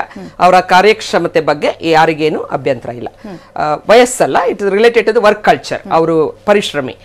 ಆಮೇಲೆ ಬಾಬು ಹೇಳ್ತಾ ಇದ್ರು ಪೊಲಿಟಿಕಲ್ ಅನಾಲಿಸ್ ಅನಾಲಿಸಿಸ್ ಏನೇ ಆಗ್ಬೋದು ಯಡಿಯೂರಪ್ಪನವರಿಗೆ ಅವ್ರ ನೇಚರ್ ಅವ್ರಿಗೆ ಹೈಡ್ ಅಂಡ್ ಸೀಕ್ ಅದೆಲ್ಲ ಗೊತ್ತಿಲ್ಲ. ತಮಗೆ ಗೊತ್ತಿದೆ, ಅವ್ರ ತಪ್ಪುಗಳನ್ನು ಜೀವನದಲ್ಲಿ ಒಪ್ಕೊಂಡಿದ್ದಾರೆ. ಈಗ ಒಂದು ಕಾಲಕ್ಕೆ ಅವ್ರ ಸಿಟ್ಟನ್ನು ಕಂಟ್ರೋಲ್ ಮಾಡೋಕ್ಕಾಗಲಿಲ್ಲ. ಏನೋ ನೋವಾಯ್ತು, ಏನೋ ಆಯ್ತು ದುಡುಕಿದ್ರು, ಒಂದು ಬೇರೆ ಪಾರ್ಟಿನೇ ಕಟ್ಟಿದ್ರು. ಮತ್ತೆ ತಪ್ಪಿನ ಅರಿವಾಯಿತು, ಹಿರಿಯರ ಮಾತು ಕೇಳಿದ್ರು, ಮಗು ತರ ವಾಪಸ್ ಬಂದ್ರು. ಮತ್ತೆ ಪಕ್ಷ ಕೊಟ್ಟ ಜವಾಬ್ದಾರಿನ ತಗೊಂಡ್ರು ಚಾಲೆಂಜ್ ತಗೊಂಡ್ರು, ರಾಜ್ಯ ಎಲ್ಲ ಸುತ್ತಿದ್ರು, ನಾಯಕತ್ವ ಪಕ್ಷದ ಅಧ್ಯಕ್ಷರಾಗಿ. ಮತ್ತೆ ಪಕ್ಷನ ಅಧಿಕಾರಕ್ಕೆ ತರೋದ್ರಲ್ಲಿ ಇದು. ಮತ್ತೆ ಎರಡನೇ ಪಾಯಿಂಟ್ ಅಂತಂದ್ರೆ ಅವ್ರಿಗೆ ನಿಕ್ ನೇಮ್ ನೀವು ಕೊಟ್ಟಿದ್ದೀರಾ ರಾಜಾ ಹುಲಿ ಅಂತ ನಾವು ಕೊಟ್ಟಿಲ್ಲ. ಹಾಗೇನೆ ಇವಾಗ ಸಿದ್ದರಾಮಯ್ಯನವ್ರಿಗೆ ಹುಲಿಯಾ ಅಂತ ನೀವೇ ಕೊಟ್ಟಿದ್ದೀರಾ. ಹಾಗಾಗಿ ಆ ನೇಚರ್ ಅಲ್ಲೂ ಇದೆ ನಾಯಕತ್ವ ಅದೆಲ್ಲ ಕೂಡ. ಇವತ್ತಿಗೂ ಕೂಡ ಇವತ್ತಿಗೂ ಕೂಡ ಯಡಿಯೂರಪ್ಪನವ್ರು ಅಷ್ಟೆಲ್ಲ ಸ್ವಾಭಿಮಾನ ಅವರ ಆತ್ಮಗೌರವವನ್ನು ಎಂದು ಕಾಂಪ್ರಮೈಸ್ ಮಾಡ್ಕೊಂಡಿಲ್ಲ. ಹಾಗೆ ಪಕ್ಷ ಯಾವತ್ತೂ ಹಂಗೇನ್ ಕೆಟ್ಟದಾಗಿ ಯಾವತ್ತೂ ನಡ್ಸ್ಕೊಂಡಿಲ್ಲ. ನಡ್ಸ್ಕೊಳ್ಳೋದಿಲ್ಲ ಅವ್ರನ್ನ ಮಾತ್ರ ಅಲ್ಲ ಯಾರನ್ನು ನಡ್ಸ್ಕೊಳ್ಳೋದಿಲ್ಲ ಬಿಜೆಪಿ ಪಾರ್ಟಿ. ಹಾಗಾಗಿ ಬಿ ಎಸ್ ವೈ ಅವರು ಭಾವನಾತ್ಮಕವಾಗಿ ಅಂದ್ರೆ ಕಷ್ಟದ ದಿನಗಳಿಂದ ಪಾರ್ಟಿನ ಕಟ್ಟಿದ್ದನ್ನೆಲ್ಲ ಒಂದು ಒಂದು ದೊಡ್ಡ ಸುದೀರ್ಘ ಪಯಣವನ್ನ ನೆನೆಸ್ಕೊಂಡು ಅವರು ಭಾವೋದ್ವೇಗಕ್ಕೆ ಒಳಗಾದ್ರು ಬಿಟ್ರೆ ರಿಯಾಲಿಟಿ ಅದೆಲ್ಲ ಕೂಡ. ಪಾರ್ಟಿ ಅಷ್ಟು ಸ್ಥಿತಿಲಿ ಇದ್ದದ್ದು ರಿಯಾಲಿಟಿ ಇವತ್ತು ಅದಿ ಬಂದು ಬಂದು ಬಂದು ಇನ್ನೇನು ಇನ್ನೊಂದು ಅಧಿಕಾರಕ್ಕಿನ್ನ ಅಧಿಕಾರಕ್ಕೆ ಐದು ಬೇಕು ಅನ್ನುವಾಗ ಪಾಪ ಅಲ್ಲೇ ನಿಂತೋಗ್ತಾ ಇದ್ರು. ನೂರೆಂಟು ನೂರತ್ತು ನೂರೆಂಟು ನೂರತ್ತು. ಹೌದು ರಾಜಕಾರಣದಲ್ಲಿ ಎಲ್ಲವೂ ಒಪ್ಪಿತವೆ ತಂತ್ರ ಉಪಯೋಗಿಸ್ತಿರೋ, ಪಟ್ಟುಗಳನ್ನು ಉಪಯೋಗಿಸ್ತಿರೋ ಅವ್ರು ಕುಸ್ತಿಪಟ್ಟು ಅಧಿಕಾರ ಬೇಕು. ಒಂದು, ಈಗ ಅವರು ಮಾಡೋಕ್ಕಾಗಲ್ಲ. ಹಾಗಾಗಿನೇ ಸಿದ್ದರಾಮಯ್ಯನವ್ರನ್ನು ಚಿತ್ತು ಮಾಡಿ ಕುಮಾರಸ್ವಾಮಿ ಅವ್ರನ್ನು ಚಿತ್ತು ಮಾಡಿ ಅವರು ಕೊಟ್ಟ ಪೆಟ್ಟುಗಳಿಂದ ಪಾಠವನ್ನ ಕಲಿತು ಮತ್ತೊಂದು ಸಲ ಪಕ್ಷವನ್ನ ಅಧಿಕಾರಕ್ಕೆ ತರೋದ್ರಲ್ಲಿ ಅವರು ಯಶಸ್ವಿಯಾಗಿದ್ದಾರೆ. ಆ ಒಂದು ಹೆಮ್ಮೆ ಒಂದು ಧನ್ಯತಾ ಭಾವನೆ ಪಕ್ಷಕ್ಕೂ ಇದೆ. ಅದೇ ರೀತಿ ಪಕ್ಷ ಅವ್ರಿಗೆ ಅವಕಾಶ ಕೊಟ್ಟದ್ದಕ್ಕಾಗಿ ಅವರು ಕೂಡ ಕೃತಜ್ಞತೆಯನ್ನ ಇವತ್ತು ಹೇಳಿದ್ದಾರೆ. ಅಲ್ಲಿ ಒಂದು ನನ್ನ ಒಂದು ಸಣ್ಣ ಒಂದು ಈಗ ತುಂಬಾ ಎಮೋಷನಲ್ ಆಗಿ ಆದ ರೀತಿ ದುಃಖಕ್ಕೆ ಬಂದರು ಅಂತ ತೇಜಸ್ವಿನಿ ಮೇಡಮ್ ಹೇಳಿದ್ರು. ಅದು ನನಗೆ ಸರಿ ಯಡಿಯೂರಪ್ಪ ನಾಲ್ಕು ಬಾರಿ ಪ್ರಮಾಣ ವಚನ ಸ್ವೀಕಾರ ಮಾಡಿದ್ರು. ಅದು ಟರ್ಮ್ ಎಷ್ಟಾರು ಇಲ್ಲಿ ಬಟ್ ಅದು ನಾಲ್ಕು ಬಾರಿ. ಸಿಎಂ ಅಂತ ಅದೊಂದು ಇತಿಹಾಸ. ಇತಿಹಾಸ. ಬಟ್ ನಾಲ್ಕು ಬಾರಿನೂ ಅವ್ರು ಬಿಟ್ಟು ಹೋಗುವಂತ ಸಂದರ್ಭದಲ್ಲಿ ನಗ್ನಗ್ತ ಹೋಗಕ್ ಆಗ್ಲಿಲ್ಲ ಯಾವುದೇ ಸಂದರ್ಭದಲ್ಲೂ ಅವರು ನೀವು ನಾಲ್ಕು ಸಲ ನಾಲ್ಕು ವಿಶೇಷವಾದ ಸಂದರ್ಭಗಳು ಬಂದು. ಬಟ್ ಈ ಸಲ ಕೊನೆಯ ಅವಕಾಶ ಅವ್ರಿಗೆ ಸಿಕ್ಕಿದ್ದಂಥದ್ದು. ಆ ಸೆಕೆಂಡ್ ಇನ್ನಿಂಗ್ಸ್ ಅವರು ಪೊಲಿಟಿಕಲ್ ಲೈಫಲ್ಲಿ ಸೆಕೆಂಡ್ ಇನ್ನಿಂಗ್ಸ್ ಅಲ್ಲಿ. ಬಹುಶಃ ನಾವೆಲ್ಲ ನಿರೀಕ್ಷೆ ಮಾಡಿದ್ದು ಈ ಬಾರಿನಾರು ಅವರು ನಗ್ನಗ್ತಾ ಹೋಗ್ಬೋದೇನೋ ಅಥವಾ ಆ ಥರದೊಂದು ವಾತಾವರಣ ನಿರ್ಮಾಣ ಆಗಬಹುದೇನೋ ಪಕ್ಷದೊಳಗೆ ಅನ್ನೋ ಒಂದು ಇತ್ತು. ಆದ್ರೆ ಇತ್ತೀಚಿನ ಕಳೆದ ಆರು ತಿಂಗಳ ಬೆಳವಣಿಗೆಗಳು ನೋಡಿದ್ರೆ ಅವ್ರಿಗೆ ಒಂಥರ ಸಫಕೇಶನ್ ವಾತಾವರಣ ಅದ್ರಲ್ಲಿ ಆಗಿದೆ ಆಗಿದೆ. ಅದ್ರಲ್ಲೇನು ಅನುಮಾನ ಇಲ್ಲ ಯಾಕೆಂದ್ರೆ ಹೊರಗಡೆ ಅವ್ರ ಮೇಲೆ ಪಕ್ಷದ ಒಳಗೆ ಬೇರೆ ಯಾರು ದಾಳಿ ಮಾಡ್ತಾ ಇರಲಿಲ್ಲ. ಸ್ವಪಕ್ಷೀಯರೇ. ಸ್ವಪಕ್ಷೀಯರೇ ಬಹಿರಂಗವಾಗಿ ದಾಳಿ ಮಾಡ್ತಿದ್ರು. ಸಂಪುಟದಲ್ಲಿರ್ತಕ್ಕಂಥ ಒಬ್ಬ ಸಹೋದ್ಯೋಗಿನೇ ದಾಳಿ ಮಾಡ್ತಾ ಇದ್ರು. ಅವ್ರು ಏನು ಮಾಡಕ್ಕಾಗದಂತ ಅಸಹಾಯಕ ಸ್ಥಿತಿಯಲ್ಲಿ ಒಂದು ಸಣ್ಣ ಅಮೆಂಡ್ಮೆಂಟ್ ಒಂದೇ ಒಂದು. ನೀವು ಹೇಳಿದ್ ಕರೆಕ್ಟ್ ಇದೆ. ನಗ್ನಗ್ತಾ ಅಂತ ಅಂತೇಳಿ. ಕಾರಣ ಯಾಕೆಂದ್ರೆ ನಗ್ನಗ್ತಾ ಬಂದಿದ್ದೆ ನಗ್ನಗ್ತಾ ಆಚೆ ಹೋಗಿರೋರು. ಅವ್ರು ಯಾವತ್ತೂ ನಗ್ನಗ್ತಾ ಬಂದಿಲ್ಲ. ಕರ್ನಾಟಕದ ಜನ ಯಾವತ್ತೂ ಸಹ ಬಿಜೆಪಿಗೆ ನೂರ ಹದಿಮೂರು ಸೀಟನ್ನ ಕೊಟ್ಟಿಲ್ಲ. ಅವ್ರು ಈ ಸಲ ಸಹ ಅಕ್ರಮವಾಗಿ ಅಧಿಕಾರ ತಗೊಂಡಿದ್ದು. ವಾಮ ಮಾರ್ಗದಲ್ಲೇ ಭ್ರಷ್ಟಾಚಾರದ ಮೂಲಕನೇ ಬಂದಿದ್ದು. ಮೇಡಮ್ ಅವರು ಹೆಲ್ತ್ ಅಂಡ್ ವೆಲ್ತ್ ಅಂತ ಪದ ಬಳಸಿದ್ರು ನಾನು ವೆಲ್ಕಮ್ ಮಾಡ್ತೀನಿ. ಹೆಲ್ತ್ ಬಗ್ಗೆ ಹೇಳ್ಬಿಟ್ರು. ವೆಲ್ತ್ ಬಗ್ಗೆ ಹೇಳಲಿಲ್ಲ ಅದಕ್ಕೆ ಇವತ್ತು ಆಚೆ ಹೋಗ್ತಿರೋದು. ಅವ್ರ ಬ- ಅವ್ರ ವಿರುದ್ಧ ಎಚ್ ವಿಶ್ವನಾಥ್ ಇಪ್ಪತ್ತು ಸಾವಿರ ಕೋಟಿ ಟೆಂಡರ್ ಆರೋಪ ಮಾಡಿದ್ರು. ಯತ್ನಾಳ್ ಆರೋಪ ಮಾಡಿದ್ರು. ಮತ್ತೆ ನಮ್ಮ ಇವರು ಅದನ್ನ ಚನ್ನಪಟ್ಟಣದ ಯೋಗೇಶ್ವರ ಆರೋಪ ಮಾಡಿದ್ರು ಅದೇನೇ ಆಗಲಿ ಇರ್ಲಿ. ತೆರಿಗೆ ಇಲಾಖೆ. ಅದು ಸಪರೇಟ್ ನೋಡ್ಕೊಳ್ಳಕ್ಕೆ ಕೋರ್ಟ್ ಇದೆ. ವೆಲ್ತ್ ಕಾರಣಕ್ಕೆ ಇವತ್ತು ಆಚೆ ದಬ್ಬಿರುವಂತ ಪದ ನಾನು ಬಳಕೆ ಮಾಡಿದ್ದು. ಅಲ್ಲ ಅಲ್ಲ ಅಲ್ಲ. ಯಡಿಯೂರಪ್ಪನವರು ಕುಟುಂಬ ಭ್ರಷ್ಟಾಚಾರ ಅಂತ ಹೈಕಮಾಂಡ್ ತನಕನೂ ನಾವೆಲ್ಲ ಎಷ್ಟೇ ಆರೋಪ ಮಾಡಿದ್ದು. ಮಾಡಿ- ನಾವೆಲ್ಲ ಎಷ್ಟೇ ಆರೋಪ ಮಾಡಿದ್ರು ಅದು ವಾಸ್ತವಾಂಶ. ಕಾಂಗ್ರೆಸ್ ಪಕ್ಷದ ಶಾಸಕರು ನಾನು ಏನ್ ಹೇಳಿ ಕೊಟ್ಟೆ ಅಂತ ಹೇಳಿದ್ರೆ ಈಗ ನಾನು ಬೇರೆ ರಾಜಕೀಯ ಅವ್ರು ಯಾವ ರೀತಿ ಮುಖ್ಯಮಂತ್ರಿ ಆದ್ರು ಯಾವ ಯಾವ ಸಂದರ್ಭದಲ್ಲಿ ನಾನು ಅದನ್ನ ಹೇಳಿಲ್ಲ ಅದಕ್ಕೂ ನಾನು ಅದಕ್ಕೆ. ನಾವು ಓನ್ಲಿ ನಿರ್ಗಮನ ಯಾವುದೇ ಒಬ್ಬ ಸುದೀರ್ಘ ರಾಜಕಾರಣದಲ್ಲಿ ಇರ್ತಕ್ಕಂಥವ್ರು. ರಾಜಕೀಯದಿಂದ ಆಲ್ಮೋಸ್ಟ್ ಒಂದು ದೊಡ್ಡ ಪದವಿಯಿಂದ ನಿರ್ಗಮಿಸಬೇಕಾದ್ರೆ ಯಾಕಂದ್ರೆ ನಮ್ಗೆ ಎಲ್ರಿಗೂ ಗೊತ್ತು ಸ್ವತಃ ಯಡಿಯೂರಪ್ಪನವ್ರಿಗೂ ಗೊತ್ತು. ಮತ್ತೆ ಅವಕಾಶ ಇಲ್ಲ. ಹತ್ತು ವರ್ಷ. ಹತ್ತು ವರ್ಷಗಳಿಂದ ಆಗಿದ್ರೆ ಮತ್ತೆ ನಾನು ಗೆದ್ದು ಬರ್ತೀನಿ ಅಂತ ಚಾಲೆಂಜ್ ಮಾಡುವಂತ ಅವಕಾಶ ಇತ್ತು. ಇವತ್ತು ನಾವು ಅದನ್ನ ಅವರ ವಯಸ್ಸಿಗೆ ಗೌರವವನ್ನು ಕೊಟ್ಟು ನಾವು ಮಾತಾಡಬೇಕಾಗ್ತದೆ. ಆ ಒಂದು ಕಷ್ಟ ಇರ್ತದೆ ಇವತ್ತು. ಅಂತ ಸಹ ಇಲ್ಲ. ಅಂತ ಸಂದರ್ಭದಲ್ಲಿ ಅಟ್ಲೀಸ್ಟ್ ಪಕ್ಷ ಒಂದು ವೇದಿಕೆ ಆ ತರ ಕ್ರಿಯೇಟ್ ಮಾಡಬಹುದಿತ್ತು ಅಂತ ನನ್ನ ಒಂದು ಅನಿಸಿಕೆ. ಅದು ಹೇಗಾರು ಆಗಲಿ ನಗ್ನಗ್ತಾ ಹೋಗುವಂತ ಒಂದು ಅಲ್ಲ ಅವ್ರ ಮಾತಿರ್ಬೋದು ಅವ್ರು ಕೊಟ್ಟಂತ ಸ್ಟೇಟ್ಮೆಂಟ್ ಇಷ್ಟು ದಿನಗಳಿಂದ ಅದರಲ್ಲೂ ನಿನ್ನೆ ಮೊನ್ನೆ ಇವತ್ತು ಆದಂತ ಮಾತುಗಳು. ಸಡನ್ ಆಗಿ ಆಗಿದ್ರೆ ಇವತ್ತೇನೋ ಎಮೋಷನಲ್ ಆಗಿ ಎಲ್ಲ ನೆನೆಸ್ಕೊಂಡು ಕಣ್ಣೀರ್ ಬಂತು ಅಂತ ಹೇಳ್ಬೋದಿತ್ತು. ಆದ್ರೆ ನಾವು ಕಳೆದ ಆರು ತಿಂಗಳಿಂದ ಏನೇನ್ ನಡೀತು ಘಟನಾವಳಿಗಳೆಲ್ಲ ನೋಡ್ಕೊಂಡ್ ಬಂದಿದೀವಿ. ಒಬ್ಬ ಸಚಿವ ಒಬ್ಬ ಸಂಪುಟ ಸಹೋದ್ಯೋಗಿ ಅವ್ರ ಕೈ ಸಂಪುಟದಲ್ಲಿ ಇರ್ತಕ್ಕಂಥವ್ರು ಇದು ಬಿಜೆಪಿ ಗೌರ್ಮೆಂಟ್ ಅಲ್ಲ ಆಲ್ ಪಾರ್ಟಿ ಗೌರ್ಮೆಂಟ್ ಅಂತ ಹೇಳಿದ್ರು ಅವ್ರು ಅವ್ರ ಮೇಲೆ ಏನು ಆಕ್ಷನ್ ತಗೊಳಕ್ಕಾಗೋದಿಲ್ಲ. ಓಕೆ ಇನ್ನೊಬ್ರು ಶಾಸಕರು ದಿನ ಬೆಳಗ್ಗೆ ಆದ್ರೆ ಅವ್ರು ಏನೇನ್ ಬೇಕೋ ಅವ್ರೆಲ್ಲ ಅಲಿಗೇಷನ್ ಮಾಡ್ತಾ ಇದ್ರು ಅವ್ರಿಗೊಂದು ನೋಟಿಸ್ ಯಾರು ಕೊಡೋದಿಲ್ಲ. ಇಂಥ ಸಂದರ್ಭದಲ್ಲಿ ಅವರು ಯಾವ್ದು ನೆನೆಸ್ಕೊಂಡು ಕಣ್ಣೀರು ಹಾಕೋದ್ರು ಎಲ್ಲರೂ ಯೋಚನೆ ಮಾಡ್ಬೇಕಾಗ್ತದೆ. ಹಾಗಾದ್ರೆ ಇದೇನ್ ಮೇಡಮ್ ನೆನ್ನೆ ಶ್ರೀನಿವಾಸ್ ಪ್ರಸಾದ್ ಹೇಳಿದ್ರು ಒಂದು ಒಪ್ಪಂದ ಆಗ್ಬಿಟ್ಟಿತ್ತು ಅವರು ಸಿಎಂ ಆಗಿ ಆ ಚೇರಲ್ ಕೂರಕ್ಕೂ ಮುಂಚೆನೆ ಎರಡು ವರ್ಷ ಅಂತ. ಸಮಯ ಅಮೂಲ್ಯ. ನೀವೆಲ್ಲ ಏನೇ ಹೇಳಿದ್ರು ಅದು ಕಪೋಲ ಕಲ್ಪಿತ ವಾಕ್ಯ ಆಗತ್ತೆ. ಕೇಂದ್ರ ನಾಯಕತ್ವ ಮತ್ತು ಯಡಿಯೂರಪ್ಪನವ್ರಿಗೆ ಮಾತ್ರ ಗೊತ್ತು. ನನಗೂ ಗೊತ್ತಿಲ್ಲ. ಯಡಿಯೂರಪ್ಪನವ್ರು ರಾಜೀನಾಮೆ ಕೊಡ್ತಾ ಇದ್ದೀನಿ ಅಂತ ಹೇಳಿದ್ದೇ ಅಧಿಕೃತ. ಅವಾಗ್ಲೇ ಅದು ಸತ್ಯ. ಅವರು ಒಂದ್ ವೇಳೆ ಮುಂದುವರೆದಿದ್ರೆ ಇದೆಲ್ಲ ಹೇಳ್ತಿದ್ವಾ ಹೇಳ್ತಿರ್ಲಿಲ್ಲ. ಹಾಗಾಗಿ ನಾವು ಕೇಳಬಾರ್ದು ಮತ್ತೆ ಒಂದು ಪೊಲಿಟಿಕಲ್ ಪಾರ್ಟಿ ಅದಕ್ಕೆ ಉತ್ತರ ಕೊಡಬೇಕಾಗೂ ಇಲ್ಲ. ಒಂದು ಪೊಲಿಟಿಕಲ್ ಪಾರ್ಟಿಯಲ್ಲಿ ಯಾರನ್ನ ಕೂರಿಸ್ಬೇಕು ಎಷ್ಟು ದಿನ ಕೂರಿಸ್ಬೇಕು ಹೇಗೆ ಕೂರಿಸ್ಬೇಕು ಹೇಗೆ ಇನ್ನೊಬ್ರಿಗೆ ಅವಕಾಶ ಮಾಡ್ಕೊಡ್ಬೇಕು ಒಂದು ಕಾಸ್ಗೋಸ್ಕರ. ಒಂದು ಹೊಸ ಪೀಳಿಗೆ ಬರಬೇಕಾದ್ರೆ ಅದು ಸ್ವತಃ ಯಡಿಯೂರಪ್ಪನವ್ರ ಅವರು ಸೇರಿ ಕಟ್ಟಿದಂತ ಪಾರ್ಟಿ. ನಾನು ಎಲ್ಲರ ಜೊತೆ ಸೇರಿ ಕಟ್ಟಿದ್ದೀನಿ ನಾನು ಅಂತ ಯಾವತ್ತು ಹೇಳಲಿಲ್ಲ. ಇವತ್ತು ಸಹ ಹಾಗಾಗಿ ಹೌದು ಪ್ರಸನ್ನ ಅವರು ಅಥವಾ ನಾನು ನಾನು ಗೋಸುಂಬೆ ತರ ಇಲ್ಲಿ ಕೂತ್ಕೊಂಡು ಏನು ನಾನು ಡಿಫೆಂಡ್ ಮಾಡಲ್ಲ. ಕೆಲವೊಂದು ಲೋಪದೋಷಗಳಾಗಿದೆ. ಕೆಲವೊಬ್ಬರ ಮಾತುಗಳಿಂದ ತೀಕ್ಷ್ಣವಾದ ಮಾತುಗಳಿಂದ ಟೀಕೆಗಳಿಂದ ಅವರ ಮನಸ್ಸಿಗೆ ನೋವಾಗಿರೋದು ನಿಜ. ಆದ್ರೆ ಅಧ್ಯಕ್ಷರಾಗಿ ನಳಿನ್ ಕುಮಾರ್ ಕಟೀಲ್ ಅವರು ಅವರಿಗೆ ತತ್ಕ್ಷಣ ಎಚ್ಚರಿಕೆ ಕೊಡುವಂತಹದ್ದು ಮಾತಾಡಬಾರ್ದು ಅಂತ ಹೇಳ್ತಕ್ಕಂಥದ್ದು ಅರುಣ್ ಸಿಂಗ್ ಅವರು ಉಸ್ತುವಾರಿಗಳು ಹೇಳ್ತಕ್ಕಂಥದ್ದು ಆ ಕೆಲಸವನ್ನ ಪಾರ್ಟಿ ಮಾಡಿದೆ. ಕೆಲವರು ಅದರ ಬಟ್ ಕ್ರಮ ಆಗ್ಲಿಲ್ಲ ಈಗ ಅಲ್ಲ ಈಗ ಕ್ರಮ ಅಂತ ಹೇಳ್ತಕ್ಕಂಥದ್ದು ವಿಸಿಬಲ್ ಕ್ರಮಗಳಾಗದೆ ಇರಬಹುದು. ಅದು ರಾಜಕಾರಣದಲ್ಲಿ ರಾಜಕಾರಣದಲ್ಲಿ ಯಾವಾಗ ಬಂದಾಗ್ಲಿಲ್ಲ. ಯಾವಾಗ ಅದು ಎಲ್ಲೆಲ್ಲಿ- ಆಗ್ಲಿಲ್ಲ. ಅಲ್ಲ ಯಾವಾಗ ಎಲ್ಲೆಲ್ಲಿ ಕ್ರಮಗಳಾಗುತ್ತೋ ಯಾವ್ಯಾವ ರೀತಿ ಕ್ರಮಗಳಾಗುತ್ತೋ ಅದು ಅವ್ರಿಗೆ ಗೊತ್ತಾಗತ್ತೆ. ರಮೇಶ್ ಬಾಬು ಸರ್ ಈಗ ಕಾಂಗ್ರೆಸ್ ಅನುಕೂಲದ ಬಗ್ಗೆ ನೀವು ಆಗ್ಲೇ ಹೇಳ್ತಾ ಇದ್ರಿ. ಈಗ ವಲಸಿಗರು ಅವರೊಂಥರ ಡವಡವ ಸ್ಟಾರ್ಟ್ ಆಗಿದೆ. ಮೊನ್ನೆಯಿಂದ ನಾವು ನೋಡ್ತಾ ಇದ್ದೀವಿ, ಪದೇ ಪದೇ ಯಡಿಯೂರಪ್ಪ ಮೀಟ್ ಮಾಡೋದು ಅಥವಾ ಅವರೇ ಒಂದು ಗುಂಪು ಗುಂಪಾಗಿ ಚರ್ಚೆ ಮಾಡೋದು, ಇಂಥದ್ದೆಲ್ಲ ಆಗ್ತಾ ಇದೆ. ರೀಸೆಂಟ್ ಆಗಿ ನಾವು ಕೇಳ್ಪಟ್ವಿ, ಅವ್ರಿಗೇನೋ ಮತ್ತೆ ಆಹ್ವಾನ ಕೊಡೋ ಚಾನ್ಸಸ್ ಕೂಡ ಇದೆ. ಡಿ ಕೆ ಶಿವಕುಮಾರ್ ಕಡೆಯಿಂದ ಒಂದು ಇನ್ವಿಟೇಷನ್ ಹೋಗಬಹುದೇನೋ ಅಂತ. ಈಗ ಮತ್ತೆ ಬಂದ್ರೆ ಸೇರಿಸ್ಕೋತೀರಾ? ಈಗ ಗೊತ್ತಿಲ್ಲ. ಈಗ ನಾಳೆ ಯಾರು ಹೊಸ ಸಿಎಂ ಆಗ್ತಾರೆ ಗೊತ್ತಿಲ್ಲ. ಅವ್ರಿಗೆ ಸಂಪುಟದಲ್ಲಿ ಅವ್ರ ಇಷ್ಟು ದಿನ ಏನ್ ಡಿಮ್ಯಾಂಡ್ ಮಾಡ್ಕೊಂಡ್ ಬಂದಿದ್ರು? ನಮ್ಗೆ ಇಂಥದ್ದೇ ಸೀಟ್ ಬೇಕು, ನಮ್ಮಿಂದ ಸರ್ಕಾರ ಬಂದಿದ್ದು ಇಂಥದ್ದೇ ಇಲಾಖೆ ಬೇಕು ಅಂತ ಡಿಮ್ಯಾಂಡ್ ಮಾಡ್ತಿದ್ರಲ್ಲ, ಆ ಥರ ಸಿಚುವೇಶನ್ ಇರುತ್ತೋ ಇಲ್ಲೋ ಗೊತ್ತಿಲ್ಲ. ಒಂದ್ ವೇಳೆ ವಾಪಸ್ ಬರ್ತೀವಿ ಅಂದ್ರೆ? ಇಲ್ಲ ರಾಜಕಾರಣದಲ್ಲಿ ರಾಜಕೀಯದ ಧ್ರುವೀಕರಣ ಅಂತ ನಾವೇನು ಕರಿತೀವಿ? ಆಯಾ ಕಾಲಘಟ್ಟಕ್ಕೆ ಬದಲಾವಣೆಗಳು ಏನು ಬೇಕಾದ್ರೂ ಆಗ್ಬೋದು. ಇದಾಗಲೇ ಕೆ ಪಿ ಸಿ ಸಿ ಅಧ್ಯಕ್ಷ ಸಾಹೇಬ್ ಬಗ್ಗೆ ಒಂದು ಸ್ಪಷ್ಟನೆಯನ್ನು ಕೊಟ್ಟಿದ್ದಾರೆ. ಇನ್ನು ಕೆಲವು ಸಂದರ್ಭಗಳಲ್ಲಿ ನಮ್ಮ ಶಿಲ್ಪಿ ನಾಯಕರಂತ ಸಿದ್ದರಾಮಯ್ಯನವರು ಕೆಲವು ಶಾಸಕರನ್ನ ನಾವು ವಾಪಸ್ ತಗೊಳ್ಳೋದಕ್ಕಾಗೋದಿಲ್ಲ ಅಲ್ಲಿ ಬೇರೆ ಬೇರೆ ಆ ಕ್ಷೇತ್ರದಲ್ಲಿ ಬೇರೆ ಬೇರೆ ಡೆವಲಪ್ಮೆಂಟ್ ಇದೆ ಕಾರಣಗಳಿದೆ ಆ ಕಾರಣ ಕೇಳಿದ್ದಾರೆ. ಬಟ್ ಇವತ್ತು ಆ ಪರಿಸ್ಥಿತಿ ಇನ್ನೂ ನಾವು ನಿರೀಕ್ಷೆ ಮಾಡೋಕ್ಕೆ ಸಾಧ್ಯ ಇಲ್ಲ. ಕಾರಣ ಈಗ ಯಾರು ಮುಖ್ಯಮಂತ್ರಿ ಅನ್ನೋದನ್ನ ಅವರು ಬಿಜೆಪಿ ಪಿಯವರು ಘೋಷಣೆ ಮಾಡಬೇಕು. ಈಗ ಬರ್ತಾ ಇರ್ತಕ್ಕಂಥ ಸುದ್ದಿಗಳ ಪ್ರಕಾರ ಏನು ಯಡಿಯೂರಪ್ಪನವರ ಸರ್ಕಾರದಲ್ಲಿ ಇದ್ದಂಥ ಶೇಕಡ ಎಪ್ಪತ್ತೈದರಷ್ಟು ಮಂತ್ರಿಗಳನ್ನ ಡ್ರಾಪ್ ಮಾಡ್ತಾರೆ ಅನ್ನೋದೊಂದು ಸುದ್ದಿ ಇದೆ. ಹೊಸಬರಿಗೆ ಅವಕಾಶ ಕೊಡ್ತಾರೆ ಅನ್ನೋ ಒಂದು ಸುದ್ದಿ ಕೊಡ್ತಾರೆ? ಮತ್ತೆ ಯಾವ ಸಮುದಾಯದಿಂದ ಮುಖ್ಯಮಂತ್ರಿ ಆಗ್ತಾರೆ ಅನ್ನೋದು ಸಹ ಬಹಳ ಇಂಪಾರ್ಟೆಂಟ್ ಯಾಕೆ ಮಾತನ್ನು ಹೇಳ್ತೀನಿ ಅಂದ್ರೆ ಇತ್ತೀಚೆಗೆ ಬಿಜೆಪಿಯವರು ಕಾಂಗ್ರೆಸ್ ಪಕ್ಷದ ಸಾಮಾಜಿಕ ನ್ಯಾಯದ ಮಂತ್ರನ ಪರಿಪಟನೆ ಪರಿಪಾಠ ಮಾಡೋದಕ್ಕೆ ಪ್ರಾರಂಭ ಮಾಡಿದ್ದಾರೆ ಹೇಳೋದಕ್ಕೆ ಪ್ರಾರಂಭ ಮಾಡಿದ್ದಾರೆ. ಅಷ್ಟರ ಮಟ್ಟಿಗೆ ಅವ್ರಿಗೆ ಅಭಿನಂದನೆ ಹೇಳ್ತೀನಿ. ಸಾಮಾಜಿಕ ನ್ಯಾಯನ ಪದಬಳಕೆ ಮಾಡ್ತಾ ಇದ್ದಾರಲ್ಲ ಅದಕ್ಕೆ ಅವ್ರಿಗೆ ಅಭಿನಂದನೆ ಹೇಳ್ತೀನಿ. ಅವರು ಮೊನ್ನೆ ರೀಶಫಲ್ ಆದಾಗ ಸೆಂಟ್ರಲ್ ಗೌರ್ಮೆಂಟ್.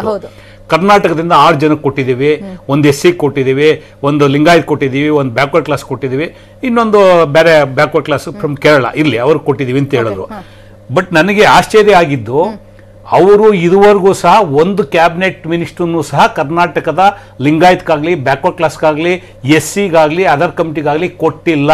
ಇಲ್ಲಿರ್ತಕ್ಕಂಥವ್ರು ಇಬ್ಬರು ಕ್ಯಾಬಿನೆಟ್ ಮೇಜರ್ ಕಮ್ಯುನಿಟಿ ಅದ್ಯಾರು ಅಂತ ಜನ ತೀರ್ಮಾನ ಮಾಡಲಿ. ನಾನು ಆ ಸಮುದಾಯದ ಬಗ್ಗೆ ಟೀಕೆ ಮಾಡಕ್ ಹೋಗಲ್ಲ. ಅಂದ್ರೆ ಅದಕ್ಕೆ ಸಾಮಾಜಿಕ ಮಾತಾಡ್ತೀನಿ ಸರ್ ಸಾಮಾಜಿಕ ನ್ಯಾಯ ಬಿಜೆಪಿ ಏನೇನ್ ಮಾಡ್ತಾರೆ ಸಾಮಾಜಿಕ ನ್ಯಾಯ ಪ್ಲಸ್ ನೀವು ಹೇಳ್ದಂಗೆ ಈ ಜಾತಿಯನ್ನ ಪರಿಗಣಿಸಿ ಪ್ಲಸ್ ಈ ಸೆಂಟ್ರಲ್ ಕ್ಯಾಬಿನೆಟ್ ಹೆಂಗ್ ರೀಶಫಲ್ ಆಯ್ತು. ಸೊ ಅದೇ ಮಾದರಿಯಲ್ಲಿ ಅದೇ ಮಾನದಂಡದ ಮುಖಾಂತರ ಇಲ್ಲೂ ಕೂಡ ಕ್ಯಾಬಿನೆಟ್ ಫಾರ್ಮೇಶನ್ ಅಂತಾನೆ ಕರಿತೀವಿ. ಯಾಕಂದ್ರೆ ನಾವು ಸಿಎಂ ಒಂದ್ಸತಿ ರಾಜೀನಾಮೆ ಕೊಟ್ರೆ ಈಗಿರುವಂತ ಸಚಿವರೆಲ್ಲ ಮಾಜಿ ಆಗ್ಬಿಟ್ಟಿದ್ದಾರೆ. ಸೊ ಹೊಸದಾಗಿ ಆಗ್ಬೇಕಾಗುತ್ತೆ. ಆ ಫಾರ್ಮೇಶನ್ ಹೆಂಗಾಗುತ್ತೆ? ಯಾವ ಆಧಾರದ ಮೇಲೆ? ಚರ್ಚೆನ ಮುಂದುವರಿಸ್ತೀನಿ. ಚಿಕ್ಕದೊಂದು ಬ್ರೇಕ್ ಆದ್ಮೇಲೆ.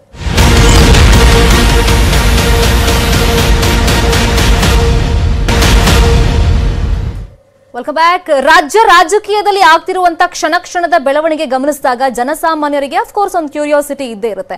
ಯಡಿಯೂರಪ್ಪ ಅವರು ರಾಜೀನಾಮೆ ಕೊಟ್ಟಿದ್ದಾಗಿದೆ.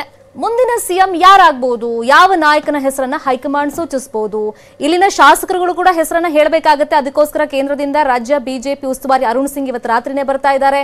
ಇನ್ನು ವೀಕ್ಷಕರಾಗಿ ಧರ್ಮೇಂದ್ರ ಪ್ರಧಾನ್ ನಾಳೆ ಬೆಳಿಗ್ಗೆ ಬರುವಂತ ಚಾನ್ಸಸ್ ಇದೆ. ಹಾಗಾಗಿ ಯಾರ ಹೆಸರು ಸೂಚಿಸಬಹುದು ಅಂತ? ಪ್ರಸನ್ನ ಕುಮಾರ್ ಸರ್, ಈಗ ಹೈಕಮಾಂಡ್ ಮುಂದೆ ಒಂದು ದೊಡ್ಡ ಟಾಸ್ಕ್ ಇದೆ. ಅದು ಈಸಿ ಆದಂತ ಚಾಲೆಂಜ್ ಅಂತೂ ಖಂಡಿತ ಅಲ್ಲ. ಯಾಕಂದ್ರೆ ಬಿ ಎಸ್ ವೈ ಅವ್ರನ್ನ ಆಲ್ರೆಡಿ ತುಂಬಾ ಜನ ಚರ್ಚೆ ಮಾಡ್ತಿರೋದು ಹೈಕಮಾಂಡೇ ತೆಗೆದು ಹಾಕಿದೆ ಅಂತ ಅದನ್ನ ಹೆಂಗ್ ಬ್ಯಾಲೆನ್ಸ್ ಮಾಡ್ತಾರೆ? ಮತ್ತೊಂದು ವಿಚಾರ ಅಂದ್ರೆ ಈಗ ತುಂಬಾ ಜನ ಬಿಜೆಪಿ ಬಿಡೋದಕ್ಕೆ ಟ್ರೈ ಮಾಡಬಹುದು ಅವ್ರನ್ನೆಲ್ಲ ಉಳಿಸ್ಕೊಳ್ಬೇಕಾಗುತ್ತೆ. ಮುಂಬರುವಂತ ಎಲೆಕ್ಷನ್ಸ್ ಅದು local body elections B B M P assembly election M P election ಅವೆಲ್ಲವನ್ನು ಕೂಡ ಒಂದು ಹೋಲ್ಡ್ ಮಾಡೋಕ್ಕೆ ಒಂದು ಫೇಸ್ ಬೇಕಾಗಿದೆ. ಸೊ ಯಾವ ಥರ ಮಾನದಂಡಗಳನ್ನ ಆಯ್ಕೆ ಮಾಡ್ಬೋದು ಅಂತ? ಈಗ ಯಡಿಯೂರಪ್ಪನವ್ರನ್ನ ಯಾವ ರೀತಿ ತೆಗೆದ್ರು ಅಥವಾ ಯಾರು ತೆಗೆದ್ರು ಈಗ ಅದು ಮುಗಿದೋಯ್ತು. ಹೌದು. ನಾವು ಚರ್ಚೆಗಿಂತ ಈಗ ನಮ್ಮ ಮುಖ್ಯವಾಗಿ ಮುಂದಿನ. ಮುಖ್ಯಮಂತ್ರಿ ಯಾರು ಯಾರು ಆಗ್ಬೋದು ಅನ್ನೋದು ಒಂದು ಚರ್ಚೆ ಇದೆ. ಸೊ ಬಹುಶಃ ಸಾಕಷ್ಟು ನಾನು ಆಗಲೇ ಹೇಳಿದಾಗೆ ಒಂದು ಶಾರ್ಟ್ ಲಿಸ್ಟ್ ಆಗಿರ್ತದೆ. ಏನೇನಾಗ್ಬೋದು ಯಾವ್ಯಾವ ರೀತಿ ಆಗ್ಬೋದು ಅನ್ನೋದೊಂದು ಒಂದು ಬಹಳ ಗಂಭೀರವಾದ ಚರ್ಚೆನಾಗಿ ಒಂದು ಶಾರ್ಟ್ ಲಿಸ್ಟ್ ಮಾಡ್ಕೊಂಡಿರ್ತಾರೆ. ಈಗ ಪ್ರಮುಖವಾಗಿ ಎರಡು ಮೂರು ಅಂಶ ನೋಡಬೇಕಾಗ್ತದೆ ಅವರು. ಒಂದು ಮುಂದಿನ ಈಗ ಯಾರು ಮುಖ್ಯಮಂತ್ರಿ ಆಗ್ತಾರೆ ಮುಂದಿನ ಎರಡು ವರ್ಷಗಳ ಕಾಲ ಅವರು ಯಶಸ್ವಿಯಾಗಿ ಸರ್ಕಾರವನ್ನು ಮುನ್ನಡೆಸಬೇಕಾಗ್ತದೆ. ಯಶಸ್ವಿಯಾಗಿ. ಬರೀ ಸರ್ಕಾರ ಮುನ್ನಡೆಸೋದ್ರಾಗೋದಿಲ್ಲ ಎರಡನೇದು ಬಿ ಜೆ ಪಿಗೆ ಕೆಲವು ಏನು ಮೈನಸ್ ಪಾಯಿಂಟ್ಸ್ ಇದೆ ಅದಕ್ಕೆಲ್ಲ ಒಂದು ಫೇಸ್ ಲಿಫ್ಟ್ ಕೊಡಬೇಕಾಗ್ತದೆ. ಮುಂದಿನ ಎಲೆಕ್ಷನ್ ದೃಷ್ಟಿಯಿಂದ ಮೂರನೇದು ಪಕ್ಷದ ಒಳಗಡೆ ಎಲ್ಲರನ್ನು ಬ್ಯಾಲೆನ್ಸ್ ಮಾಡೋದಿದೆಯಲ್ಲ ಬೇರೆ ಬೇರೆ. ಮುಖಂಡರನ್ನ ಅಥವಾ ಬೇರೆ ಬೇರೆ ಸಮುದಾಯದವ್ರನ್ನ ಬೇರೆ ಬೇರೆ ಪ್ರಾದೇಶಿಕ ಇದು ಇದು ಯಾವುದೇ ಮುಖ್ಯಮಂತ್ರಿ ಆದರೂ ಇಟ್ಸ್ ಬಿಗ್ ಟಾಸ್ಕ್ ಈ ಬ್ಯಾಲೆನ್ಸಿಂಗ್ ಅಲ್ಲಿ ಯಾರು ಸಕ್ಸಸ್ ಆಗ್ತಾರೆ ಅವರು ಯಶಸ್ವಿ ಮುಖ್ಯಮಂತ್ರಿ. ಒಂದು ವೇಳೆ ನೀವು ಅಭಿವೃದ್ಧಿ ಆಗದಲ್ಲೇ ಇರ್ಬೋದು ರಾಜ್ಯ ಮುನ್ನಡೆದಲ್ಲೇ ಇರ್ಬೋದು ಆದರೆ ಇಲ್ಲಿ ಅವ್ರು ಪೊಲಿಟಿಕಲಿ ಸಕ್ಸಸ್ ಆಗೋದು ಯಾಕೆ ಬ್ಯಾಲೆನ್ಸ್ ಮಾಡ್ತಾರೆ ವಿತಿನ್ ದಿ ಪಾರ್ಟಿ ಅಥವಾ ಅಪೋಸಿಷನ್ ಅವ್ರ ಜೊತೆ ಯಾವ ರೀತಿ ಅವ್ರು ಹೊಂದಾಣಿಕೆಯಲ್ಲಿ ಹೋಗ್ತಾರೆ? ಇದ್ರ ಮೇಲೆ ಡಿಪೆಂಡ್ ಆಗ್ತದೆ. ಕೊನೆ ಟಾಸ್ಕು ಮುಂದಿನ ಚುನಾವಣೆಯಲ್ಲಿ ಯಾವ ರೀತಿ ಅವರು ಅವ್ರನ್ನ ಇಟ್ಕೊಂಡು ಯಾರು ಇರ್ತಾರೆ ಯಾರು ಮುಖ್ಯಮಂತ್ರಿ ಆಗ್ತಾರೆ ಆ ಫೇಸ್ ವ್ಯಾಲ್ಯೂ ಮೇಲೆ ಚುನಾವಣೆ ನಡೆಸಬಹುದು ಅಥವಾ ಬಿಜೆಪಿದು ಇತ್ತೀಚಿನ ವರ್ಷಗಳು ಹೊಸ ಮಂತ್ರ ಇದೆ. ಪಕ್ಷ ಮತ್ತು ಮೋದಿ ಹೆಸರಲ್ಲಿ. ಸಾಮಾನ್ಯವಾಗಿ ರಾಜ್ಯ ಮಟ್ಟದಲ್ಲಿ ಅವರು ಯಾರನ್ನು ಆ ಫೇಸ್ ವ್ಯಾಲ್ಯೂ ಇಟ್ಕೊಂಡು ಆ ಮುಖ ಇಟ್ಕೊಂಡು ಹೋಗ್ತಾ ಇಲ್ಲ. ರಾಜ್ಯ ಚುನಾವಣೆಗಳಲ್ಲೂ ಅವರು ಮೋದಿ ಫೇಸ್ ಮೇಲೆ ಸಾಮೂಹಿಕ ನಾಯಕತ್ವದಲ್ಲೇ ಹೋಗೋದು. ಅದಕ್ಕಿಂತ ಪಾರ್ಟಿ ಮತ್ತೆ ಮೋದಿ. ಇದನ್ನ ಪ್ರಮುಖವಾಗಿ ನೋಡೋದು ಅಂದ್ರೆ ಯಾರ್ದು ಆಬ್ಲಿಗೇಷನ್ ಬೇಡ ಅನ್ನೋ ಒಂದು ದೃಷ್ಟಿಲಿದೆ ಈಗ ಬಹುಶಃ ಅವರಿಗೆ ಕರ್ನಾಟಕದಲ್ಲಿ ಅದೇ ಕಷ್ಟ ಆಗಿದ್ದು. ಇವತ್ತು ನಾಯಕತ್ವ ಬದಲಾವಣೆ ಇರಲಿ ಅಥವಾ ಮತ್ತೆ ಯಾಕಂದ್ರೆ ಯಡಿಯೂರಪ್ಪನವ್ರ ಫ್ಯಾಕ್ಟ್ ಇತ್ತು. ಸೊ ಆ ರೀತಿ ಮತ್ತಾಗೋದು ಬೇಡ ಅನ್ನೋದು ಬಹಳಷ್ಟು ವರ್ಷಗಳಿಂದ ಅದು ಯಾಕಂದ್ರೆ ಯಡಿಯೂರಪ್ಪನವ್ರ ವಿಚಾರ ಬಂದಾಗೆಲ್ಲ ಇದು ಚರ್ಚೆಗೆ ಬರ್ತಾ ಇತ್ತು.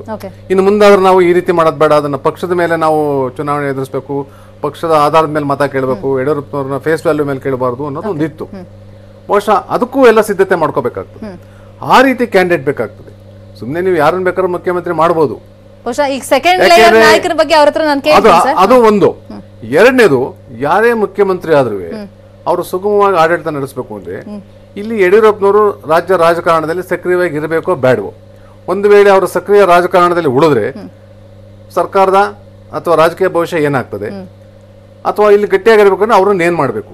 ಅಂದ್ರೆ ಯಾವ ರೀತಿ ಅವರಿಗೆ ಪರ್ಯಾಯವಾಗಿ ಅವ್ರಿಗೆ ವ್ಯವಸ್ಥೆ ಮಾಡಬೇಕಾಗ್ತದೆ? ಪುನಃ ರಾಜಕೀಯ ಪುನರ್ವಸತಿ. ಇದನ್ನೆಲ್ಲ ನೋಡ್ಕೊಂಡೇ ಮಾಡಬೇಕಾಗ್ತದೆ. ಫೈನ್ ಸರ್ ಈಗ ಸವಾಲುಗಳು ಅಫ್ಕೋರ್ಸ್ ಬಂದೇ ಬರುತ್ತೆ. ಈಗ ವಲಸಿಗ ಎಲ್ಲ ಎಲ್ಲಿ ಬಿಟ್ಟು ಹೋದ್ರಲ್ಲ ಸಚಿವರಾಗಿದ್ದಾರಲ್ಲ ಅವ್ರದ್ದಿರ್ಬೋದು. ಮತ್ತೆ ಯಡಿಯೂರಪ್ಪ ಅವರ ಮಕ್ಕಳ ರಾಜಕೀಯ ಭವಿಷ್ಯ ನಾನು ಆಗ್ಲೇ ಪ್ರಸ್ತಾಪ ಮಾಡ್ತಾ ಇದ್ದೆ.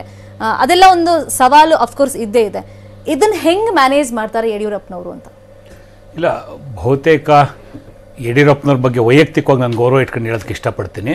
ಎಲ್ಲೋ ಒಂದು ಕಡೆ ರಾಜಕೀಯವಾಗಿ ಭಾರತೀಯ ಜನತಾ ಪಕ್ಷ ಅವರ ಭವಿಷ್ಯದಲ್ಲಿ ಮಸ್ಕನ್ನ ನಿರ್ಮಾಣ ಮಾಡಿದೆ. ಅದು ಒಂದು ಕಡೆ. ಅವ್ರ ಮಕ್ಕಳದಲ್ಲಿ ಅವ್ರ ರಾಜಕೀಯನೇ ಇನ್ನು ಪ್ರಜ್ವಲವಾಗಿ ಇರೋದಿಲ್ಲ.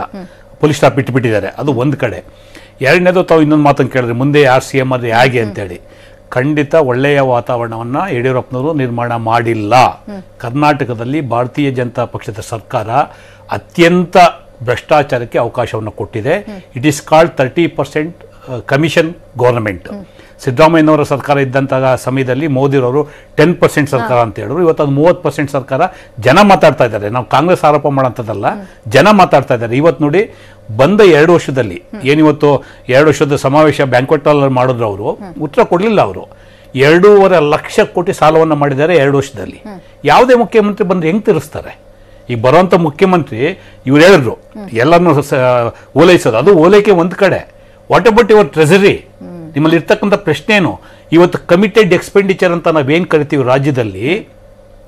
ಒಂದು ರೂಪಾಯಿ ನಿಮ್ಗೆ ಆದಾಯ ಇದ್ರೆ ಎಪ್ಪತ್ತು ಪೈಸೆ ಕಮಿಟೆಡ್ ಎಕ್ಸ್ಪೆಂಡಿಚರ್ಗೆ ಹೋಗುತ್ತೆ. ಆದರೆ ಇವತ್ತು ಯಡಿಯೂರಪ್ಪನವ್ರ ಸರ್ಕಾರ ಒಂದು ರೂಪಾಯಿ ಎರಡು ಪೈಸೆಗೆ ತಂದಿದೆ. ಅಂದ್ರೆ ನೀವು ಸಂಬಳ ಕೊಡೋದಕ್ಕೆ ಮತ್ತೊಂದಕ್ಕೆ ಅಲ್ಲೇ ಶಾರ್ಟೇಜ್ ಇದೆ. ಅಲ್ಲೇ ಮೈನಸ್ ಇದೆ. ಅದಕ್ಕೋಸ್ಕರ ಎರಡು ಇದು ಈಗ ಮೇಡಮ್ ಅವರು ಇನ್ನೊಬ್ರು ಪ್ರಶ್ನೆ ಯಾರ್ ಫ್ಯಾಕ್ಟ್ ಇದೆ. ನಾನು ಕಾಂಗ್ರೆಸ್ ಪಾರ್ಟಿ ತಿದ್ದಕ್ಕಾಗಲ್ಲ ಇನ್ನೊಬ್ರು ತಿದ್ದಕ್ಕಾಗಲ್ಲ it is the fact admitted fact what is presented budget before the governor she is also M L C in the upper house ಅಲ್ಲ, ನಾನು ಸೊ ಇದು ವಾಸ್ತವ ಇದು ಅದನ್ನ ಪ್ರಶ್ನೆ ಇಲ್ಲ. ಯಾರೇ ಮುಖ್ಯಮಂತ್ರಿ ಬಿಜೆಪಿಯಿಂದ ಬಂದರೂ ಸಹ ಈ ಭ್ರಷ್ಟಾಚಾರವನ್ನ ಮುಂದುವರ್ಸ್ಕೊಂಡು ಹೋಗ್ಬೇಕು ಬಿಟ್ಟು ಅವ್ರು ಮಾಡಿರೋ ತಪ್ಪುಗಳಿಗೆ ಈ ಸರ್ಕಾರದಿಂದ ಈ ರಾಜ್ಯದ ಜನಕ್ಕಾಗಲಿ, ಈ ದೇಶ ಜನಕ್ಕಾಗಲಿ ಉಪಯೋಗ ಇಲ್ಲ. ಇದನ್ನ ಕಾಂಗ್ರೆಸ್ ಪಕ್ಷ ಬಹಳ ಸ್ಪಷ್ಟವಾಗಿ ಜನರ ಮುಂದೆ ಇಡುವಂತ ಪ್ರಯತ್ನನ ಮಾಡುತ್ತೆ. ಯಡಿಯೂರಪ್ಪನವ್ರ ಮಾತಲ್ಲೇ ಹೇಳೋದಾದ್ರೆ, ಪರೀಕ್ಷೆ ಪರೀಕ್ಷೆ, ಅಗ್ನಿ ಪರೀಕ್ಷೆ. ಇಡೀ ಮನುಷ್ಯರು ಸಾವು ಬದುಕಿನ ನಡುವೆ ಹೋರಾಟ ಮಾಡುವಾಗ ಮನುಷ್ಯರ ಪ್ರಾಣ ಕಾಪಾಡಬೇಕಾ? ಕೊರೋನಾದ ವಿರುದ್ಧ ಯುದ್ಧ ಮಾಡಿ ಅವರಿಗೆ ಔಷಧ ಉಪಚಾರ, ವ್ಯಾಕ್ಸಿನ್ಗಳನ್ನ ಕೊಟ್ಟು ಅವರನ್ನು ಕಾಪಾಡ್ಬೇಕಾ? ಬೊಕ್ಕಸ ಅಂತ ಹೇಳಿದ್ರೆ ಇವತ್ತು ಹಾಗಾದ್ರೆ ಸರ್ಕಾರಿ ನೌಕರರಿಗೆ ಸಂಬಳ ಕೊಡೋದು ಬೇಡವಾ? ವ್ಯವಸ್ಥೆನ ಉಳಿಸ್ಕೊಂಡೋಗಿರೋದೇ ಒಂದು ದೊಡ್ಡ ಸಾಧನೆ. ಇವತ್ತು ಇನ್ ಇನ್ಯಾರಾದ್ರೂ ಆಗಿದ್ರೆ ಎಷ್ಟು ಗಾಬರಿಯಾಗಿ ಅವರು ಒಂದು ಒಂದು ಮುತ್ಸದಿತನ ಅಧಿಕಾರಿಗಳಿಗೂ ಅವ್ರು ಇವತ್ತು ಧನ್ಯವಾದ ಹೇಳಿದ್ರು. ಒಂದು ಕೋಆರ್ಡಿನೇಷನ್ ಮಾಡ್ಕೊಂಡು ಎದೆಗುಂದದೆ ಇಡೀ ಒಂದೂವರೆ ವರ್ಷ ಸ್ಟ್ಯಾಂಡ್ ಸ್ಟಿಲ್ ಒಂದು ರೀತಿ ತಟಸ್ಥವಾದಂತ ಜೀವನ. ಪ್ರತಿಯೊಬ್ಬ ಒಂದು ಮನೆಯಿಂದ ಆಚೆ ಬರ್ದಲ್ಲಿರುವಂತ ಅಂಗಡಿ ಮುಗ್ಗಟ್ಟುಗಳು ಮುಚ್ಚಿ, ಏನ್ ಮಾಡೋದಕ್ಕೆ ಸಾಧ್ಯತೆ ಇದೆ? ಇದು ಪ್ರಕೃತಿ ವಿಕೋಪಕ್ಕೆ ಯಡಿಯೂರಪ್ಪನವರು ಕಾರಣನಾ? ಹಾಗಾಗಿ ಹೌದು ನೀವೆಷ್ಟು ಸಾಲ ಮಾಡಿ ಹೋಗಿದ್ರಿ? ಯಡಿಯೂರಪ್ಪನವ್ರಿಗಾದ್ರೂ ರೀಸನ್ ಇದೆ. ಮೊದಲಿದ್ದಂತ ಕಾಂಗ್ರೆಸ್ ಸಮ್ಮಿಶ್ರ ಸರ್ಕಾರಗಳು ನೀವು ಸಾಲ ಮಾಡೋದಕ್ಕೆ ಫಿಗರ್ ಕಾರಣ ಇತ್ತು? ಫಿಗರ್ ಕಾಂಗ್ರೆಸ್ ಐದು ವರ್ಷದಲ್ಲಿ ಸಿದ್ದರಾಮಯ್ಯ ಸರ್ಕಾರದಲ್ಲಿ ಎಷ್ಟು ಬರ್ತಾ ಫಿಗರ್ ದಯವಿಟ್ಟು ಹೇಳಿ ಫಿಗರ್ ಹೇಳಿ. ಈಗ figures- ಜನಕ್ಕೆ ಗೊತ್ತಾಗ್ಲಿ. ಫಿಗರ್ಸ್ ದಯಮಾಡಿ ಐದು- ವರ್ಷದಲ್ಲಿ. ದಯಮಾಡಿ ನೀವು ಎಂ ಎಲ್ ಸಿ. ಇದ್ದೀರಾ?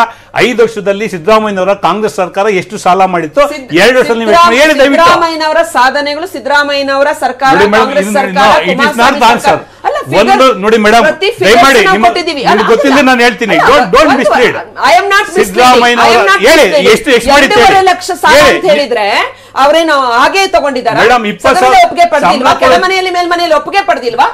ಹೌದು ನಮ್ಮ ಸರ್ಕಾರ ನಮ್ಮ ಲಾಕ್ ಡೌನ್ ಆಯ್ತು. ನಮ್ಮ ಸರ್ಕಾರ ಬಂದಾಗ ಪ್ರವಾಹ ಬಂತು. ಹಾಗಾದ್ರೆ ಬರ ಬರ ವೀಕ್ಷಣೆ ಕೋಟಿ ಟೆಂಡರ್ ಮಾಡಿ ಅಂತ ಹೇಳಿದ್ದ ಜನ ನಿಮ್ಗೆ? ಲಂಚ ಇಪ್ಪತ್ತು ಸಾವಿರ ಕೋಟಿ ಟೆಂಡರ್ ಮಾಡಿ. ನಿಮ್ ಅವೆಲ್ಲ- ಎಂ ಎಲ್ ಸಿ ಆರೋಪ ಮಾಡಿದ್ದಲ್ಲ ಎಂ ಎಲ್ ಸಿ ನಿಮ್ M L C H Vishwanath ಮಾಡಿದಂತದ್ದು Vishwanath Vishwanath ಅವರು- ಅವ್ರು ಅಲ್ಲ, ಗೊತ್ತಾಗ್ಬಿಟ್ಟು ನಂದಲ್ಲ ಇದು ಆರೋಪ ನಿಮ್ ಜೊತೆ ಇದ್ದಾಗ ಏನ್ ಮಾತಾಡಿದ್ದಾರೆ? ವಿಶ್ವನಾಥ್ ಜೆಡಿಎಸ್ ಅಲ್ಲಿ ಇದ್ದಾಗ ಏನ್ ಮಾತಾಡಿದ್ದಾರೆ.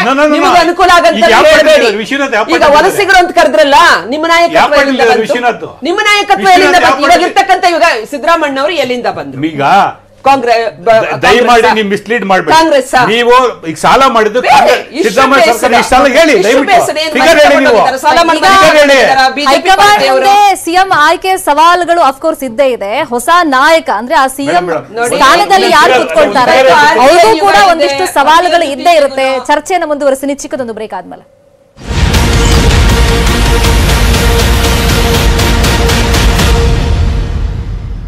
ಪ್ಯಾಕ್ ಈಗ ಮುಂದಿನ ನಾಯಕನ ಆಯ್ಕೆ ಬಗ್ಗೆ ಲಿಂಗಾಯತ ಫ್ಯಾಕ್ಟರ್ ಕೂಡ ವರ್ಕೌಟ್ ಮಾಡಬೇಕಾಗುತ್ತೆ. ಯಾವ ತರ? ಈಗ ಬಿ ಎಸ್ ವೈಗೆ ಸರಿಸಮಾನ ನಾಯಕನ ಅಗತ್ಯತೆ ಹೈಕಮಾಂಡ್ ಮುಂದೆ ಇದೆ.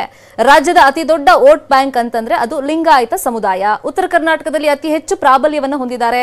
ಲಿಂಗಾಯತ ಸ್ವಾಮೀಜಿಗಳಿಂದಲೂ ಕೂಡ ಬಲ ಇರಬೇಕಾಗತ್ತೆ. ಯಾಕಂದ್ರೆ ಇತ್ತೀಚೆಗೆ ಸಮಾವೇಶ ಆಗಿದ್ದೆಲ್ಲ ನಾವು ನೋಡಿದ್ವಿ. ಪ್ರತಿ ಚುನಾವಣೆಯಲ್ಲೂ ಕೂಡ ಲಿಂಗಾಯತ ಅಸ್ತ್ರವನ್ನ ಯಾವ್ಯಾವ ಪಕ್ಷದವರು ಯಾವ್ಯಾವ ತರ ಯೂಸ್ ಮಾಡ್ತಾರೆ ಟ್ರಂಪ್ ಕಾರ್ಡ್ ಆಗಿ ಅದೆಲ್ಲವೂ ಕೂಡ ಗೊತ್ತಿರೋದು. ಹಾಗಾಗಿ ಲಿಂಗಾಯತ ಶಾಸಕರಿಗೆ ಮನ್ನಣೆ ಕೊಡೋದು ಅತ್ಯಗತ್ಯವಾಗಿರುತ್ತೆ. ಅದನ್ನು ಯಾವ ತರ ಹೈಕಮಾಂಡ್ ಇದೀಗ ಆ ಸ್ಟ್ರಾಟಜಿಯನ್ನ ಯುಟಿಲೈಸ್ ಮಾಡ್ಕೊಳ್ಳುತ್ತೆ ಅನ್ನೋದನ್ನ ನೋಡಬೇಕಾಗುತ್ತೆ. ಈಗ ಲಿಂಗಾಯತ ಪ್ಲಸ್ ಪ್ರಾದೇಶಿಕವಾಗಿ ನಾವು ನೋಡೋದಾದ್ರೆ ಉತ್ತರ ಕರ್ನಾಟಕ ಭಾಗದವರಿಗೆ ಪ್ರಾಶಸ್ತ್ಯ ಸಿಗಬೇಕು ಅನ್ನೋ ಕೂಗು ಕೂಡ ಕೇಳಿ ಬರ್ತಾ ಇದೆ. ಹಾಗಾದ್ರೆ ಲಿಂಗಾಯತ ಪ್ಲಸ್ ಉತ್ತರ ಕರ್ನಾಟಕ ಭಾಗದವ್ರನ್ನ ಸಿಎಂ ಆಗಿ ಆಯ್ಕೆ ಮಾಡಬಹುದಾ ಮೇಡಮ್ ಬಿಜೆಪಿಯವರು? ಬಿಜೆಪಿಯಲ್ಲಿ ಮೊದಲಿಗೆ ಜಾತಿ ಇಲ್ಲ. ಬಿಜೆಪಿಯಲ್ಲಿ ಒಂದು ಉದ್ದೇಶ, ಒಂದು ಗುರಿ ಇರುತ್ತೆ. ಒಂದು ಶ್ರೇಷ್ಠ ಭಾರತ ಕಟ್ಟಬೇಕು, ಶ್ರೇಷ್ಠವಾದಂತ ಕರ್ನಾಟಕ ಕಟ್ಟಬೇಕು ಅಂತೇಳಿ. ಅದಕ್ಕೆ ಪೂರಕವಾಗುವಂತಹ ಸಮರ್ಥ ವ್ಯಕ್ತಿ, ಪಕ್ಷದ ಶಿಸ್ತು ಮತ್ತು ಒಂದು ಸಾಮರ್ಥ್ಯ, ಹಾಗೇನೆ ಕರ್ತವ್ಯ, ಪರಿಶ್ರಮದಿಂದ ಕೆಲಸ ಮಾಡುವಂತಹ ಎಲ್ಲ ಸಮಾಜಗಳನ್ನ ಜೊತೆಯಲ್ಲಿ ತೆಗೆದುಕೊಂಡು ಹೋಗಿ ಪಕ್ಷದ ಒಂದು ಒಳ್ಳೆಯ ಭವಿಷ್ಯ ರೂಪಿಸುವಂತ ಯಾವುದೇ ವ್ಯಕ್ತಿಯನ್ನ. ಅದಕ್ಕೆ ಸರ್ಪ್ರೈಸಸ್ ಅಂತ ಹೇಳೋದು. ಯಾವುದೇ ವ್ಯಕ್ತಿ ಕೂಡ ಕನಸು ಕಾಣಬಹುದು ಬಿಜೆಪಿಯಲ್ಲಿ. ಮತ್ತೆ ಅದು ಸಾಧ್ಯನೂ ಆಗತ್ತೆ. ಹಾಗಾಗಿ ಕೇಂದ್ರ ನಾಯಕತ್ವ ಮತ್ತು ನಮ್ಮ ರಾಜ್ಯದ ನಾಯಕತ್ವ ಹಿರಿಯರು ತೀರ್ಮಾನ ಮಾಡಿ ಹೆಸರು ಪ್ರಕಟಿಸುವವರೆಗೆ ನಾವು ಕೂಡ ಅದನ್ನ ಅನುಭವಿಸೋಣ ಆ ಕುತೂಹಲವನ್ನ. ರಮೇಶ್ ಬಾಬು ಸರ್ ಒಪ್ತೀರಾ? ಬಿಜೆಪಿಗೆ ಜಾತಿ ಮುಖ್ಯ ಅಲ್ಲ. ಅಲ್ಲ ಅವರು ಒಂದು ಪಕ್ಷದ ವಕ್ತಾರರಾಗಿ ಅದಕ್ಕಿಂತ ಆಚೆ ಅವ್ರು ಮಾತಾಡಕ್ಕಾಗಲ್ಲ. ಲಿಮಿಟೇಷನ್ ಇರುತ್ತೆ. ಅದು ನಾನು ಸ್ವಾಭಾವಿಕ ಒಪ್ಕೋತೀನಿ. ಬಟ್ ಪ್ರಶ್ನೆ ಇರ್ತಕ್ಕಂಥದ್ದು ಸನ್ಮಾನ್ಯ ಕಟೀಲ್ ರವರು ಕೆಲವು ದಿನಗಳ ಹಿಂದೆ ಅವರೊಂದು ಆಡಿಯೋ ಲೀಕ್ ಆಗಿ ಬಹಳ ಚರ್ಚೆ ಆಯಿತು. ಅವರು ಅದರ ಅದು ಬಂದ ಮೇಲೆ ಅವರ ಬಾಡಿ ಲ್ಯಾಂಗ್ವೇಜ್ ಚೇಂಜ್ ಆಯಿತು. ಇವತ್ತು ಅವ್ರು ಹೇಳಿದ ಅಷ್ಟು ಅಂಶ ನಿಜ ಆಗ್ತಾ ಇದೆ. ಹಾಗಾಗಿ ಇಲ್ಲಿ ಬಿ ಜೆ ಪಿನಲ್ಲಿ ನಡೆದಿರ್ತಕ್ಕಂಥದ್ದು ನಾವು ಜಾತಿ ವಿಚಾರ ಇಲ್ಲಿದ್ರೂ ಸಹ ಸಾಮಾಜಿಕ ನ್ಯಾಯದ ವಿಚಾರದಲ್ಲಿ ಕಾಂಗ್ರೆಸ್ ಪಕ್ಷ ಮಾತಾಡಬೇಕಾದ್ರೆ ಈಗಾಗಲೇ ಲಿಂಗಾಯತರಿಗೆ ಪಿನಲ್ಲಿ ಅವಕಾಶ ಆಗಿದೆ. ಉತ್ತರ ಕರ್ನಾಟಕದಲ್ಲಿ ಜಗದೀಶ್ ಶೆಟ್ಟಿಗೂ ಸಹ ಅವಕಾಶವನ್ನು ಕೊಟ್ಟಿದ್ದಾರೆ. ಒಕ್ಕಲಿಗ ಸಮುದಾಯ ಈಗ ನಾವು ಸ್ವಾಮಿ ಸ್ವಾಮೀಜಿಗಳ ಸಮಾವೇಶ ಮಾಡಿದಾಗ ನೋಡ್ತಾ ಇದ್ವಿ ಲಿಂಗಾಯತರಿಗೆ ಅವಕಾಶ ಸಿಕ್ಕಿದೆ ಪಂಚಮಸಾಲಿಗಳಿಗೆ ಅವಕಾಶ ಮಾಡಿಕೊಡಿ. ಅಲ್ಲಲ್ಲ ಇರ್ಲಿ ಅದು ಒಳ ಪಂಗಡಗಳಲ್ಲಿ ಅವ್ರು ಏನೇ ಬೇಡಿಕೆ ಇದ್ರು ಸಹ ಲಿಂಗಾಯತರಿಗೆ ಸಾಕಷ್ಟು ಅವಕಾಶವನ್ನು ಕೊಟ್ಟಿದ್ದಾರೆ. ಮತ್ತೆ ಒಕ್ಕಲಿಗರಿಗೆ ಪ್ಲಸ್ ಕರಾವಳಿ ಸದಾನಂದ ಮುಖಾಂತರ ಅದನ್ನು ಕೊಟ್ಟಿದ್ದಾರೆ. ಇವತ್ತು ನಮಗೆ ಎಲ್ಲೋ ಒಂದು ಕಡೆ ಕುತೂಹಲ ಇರ್ತಕ್ಕಂಥದ್ದು ಭಾರತೀಯ ಜನತಾ ಪಕ್ಷದಲ್ಲಿ ಅವ್ರೇನು ಈಗೆಲ್ಲ ಕಾಂಗ್ರೆಸ್ ಪಕ್ಷನ ಪದೇ ಪದೇ ತಿವಿತಾರಲ್ಲ ಇವತ್ತೇನಾದ್ರು ದಲಿತರಿಗೆ ಏನಾದ್ರು ಅವಕಾಶ ಕೊಡ್ತಾರಾ? ಅಥವಾ ಅಲ್ಪಸಂಖ್ಯಾತರನ್ನ ಯಾರು ಕರ್ಕೊಂಬಂದು ಮಾಡ್ತಾರ. ಈ ತರದ ಒಂದು ಕುತೂಹಲ ನಮ್ಗಿದೆ. ನಾನು ಬಯಸ್ತಾ ಇರ್ತಕ್ಕಂಥದ್ದು ಈಗ ಕರ್ನಾಟಕದಲ್ಲಿ. ಅಷ್ಟು ಜನ ಮಂತ್ರಿಗಳು ಮಾಡಿದ್ರು. ಪಿ ಸಿ ಮೋಹನ್ ಅವರು ಬ್ಯಾಕ್ವರ್ಡ್ ಕ್ಲಾಸು ಅವ್ರು ಮೂರು ಸಲ ಎಂ ಪಿ ಅವ್ರಿಗೆ ಮಂತ್ರಿನೇ ಮಾಡಲಿಲ್ಲ ಅವರು. ಅಂದ್ರೆ ಬ್ಯಾಕ್ವರ್ಡ್ ಕ್ಲಾಸ್ ಮೇಲೆ ಏನು ಕಮಿಟ್ಮೆಂಟ್ ಇದೆ ಅಂತ ಅವ್ರು ತೋರಿಸ್ಬೇಕು. ಬ್ಯಾಕ್ವರ್ಡ್ ಕ್ಲಾಸಲ್ಲಿ ಏನಾದ್ರು ಕಮಿಟ್ಮೆಂಟ್ ಕೇಳ್ತಾರ? ಅಥವಾ ಕಾಂಗ್ರೆಸ್ ಪಕ್ಷದ ಏನು ಸಲಹೆ ಕೇಳಿದ್ರೆ ಕೊಡೋದಕ್ಕೂ ತಯಾರಿದ್ದೀವಿ. ಮತ್ತೆ ಅಕಸ್ಮಾತ್ ಸಾಮಾಜಿಕ ನ್ಯಾಯ. ನಾನು ವೋಟ್ ಬ್ಯಾಂಕ್ನ ಮಾಡದೆ ಸಾಮಾಜಿಕ ನ್ಯಾಯದ ಆದ್ಮೇಲೆ. ಕಾಂಗ್ರೆಸ್ ಪಕ್ಷ ಸಾಮಾಜಿಕ ನ್ಯಾಯ ಅವ್ರು ಕೇಳಿದ್ರೆ ಕೇಳ್ತಾರ ಅಂತೇಳಿ. ಇಷ್ಟೆಲ್ಲ ಅವಮಾನ ಆದ್ಮೇಲೆ ಯಡಿಯೂರಪ್ಪ ಅಲ್ಲೇ ಇರ್ತಾರ ಅಥವಾ ಕಾಂಗ್ರೆಸ್ ಕಡೆ ಏನೋ ಮಕ ಮಾಡ್ತಾರ ಕುತೂಹಲನೂ ಇದೆ. ಯಾಕಂದ್ರೆ ಅವ್ರಿಗೆ ಇವತ್ತು ಯಾವ ರೀತಿ ಹೇಳಿದ್ರು ನಮ್ಮ ಪ್ರಸನ್ನ ಅವರು. ನಾಲ್ಕು ಸಲನೂ ಅಳ್ತಾ ಅಳ್ತಾನೆ ಹೋಗಿದ್ದಾರೆ ಅವರು ಅಂತೇಳಿ. ನಗ್ತಾ ನಗ್ತಾ ಒಳಗಡೆ ಬರೋಕ್ಕೂ ಅವಕಾಶ ಕೊಟ್ಟಿಲ್ಲ. ನಗ್ತಾ ನಗ್ತಾ ಆಚೆ ಹೋಗೋಕ್ಕೂ ಅವಕಾಶ ಕೊಟ್ಟಿಲ್ಲ. ಭಾರತೀಯ ಜನತಾ ಪಕ್ಷ ಹೆಂಗ್ ನಡೆಸ್ಕೊಂಡಿದೆ ಅನ್ನೋ ಪ್ರಶ್ನೆ. ಇವತ್ತು ಯಡಿಯೂರಪ್ಪನವ್ರ ಸೀನಿಯರಿಟಿ ಬಗ್ಗೆ ಯಾರು ಪ್ರಶ್ನೆ ಮಾಡಕ್ ಸಾಧ್ಯ ಇಲ್ಲ. ಮತ್ತೆ ಅವರ ನಾಯಕತ್ವದ ಬಗ್ಗೆ ಅಥವಾ ಆಸ್ ಎ ಒಂದು ಮಾಸ್ ಲೀಡರ್ ಅದನ್ನು ಯಾರು ಪ್ರಶ್ನೆ ಮಾಡಲ್ಲ.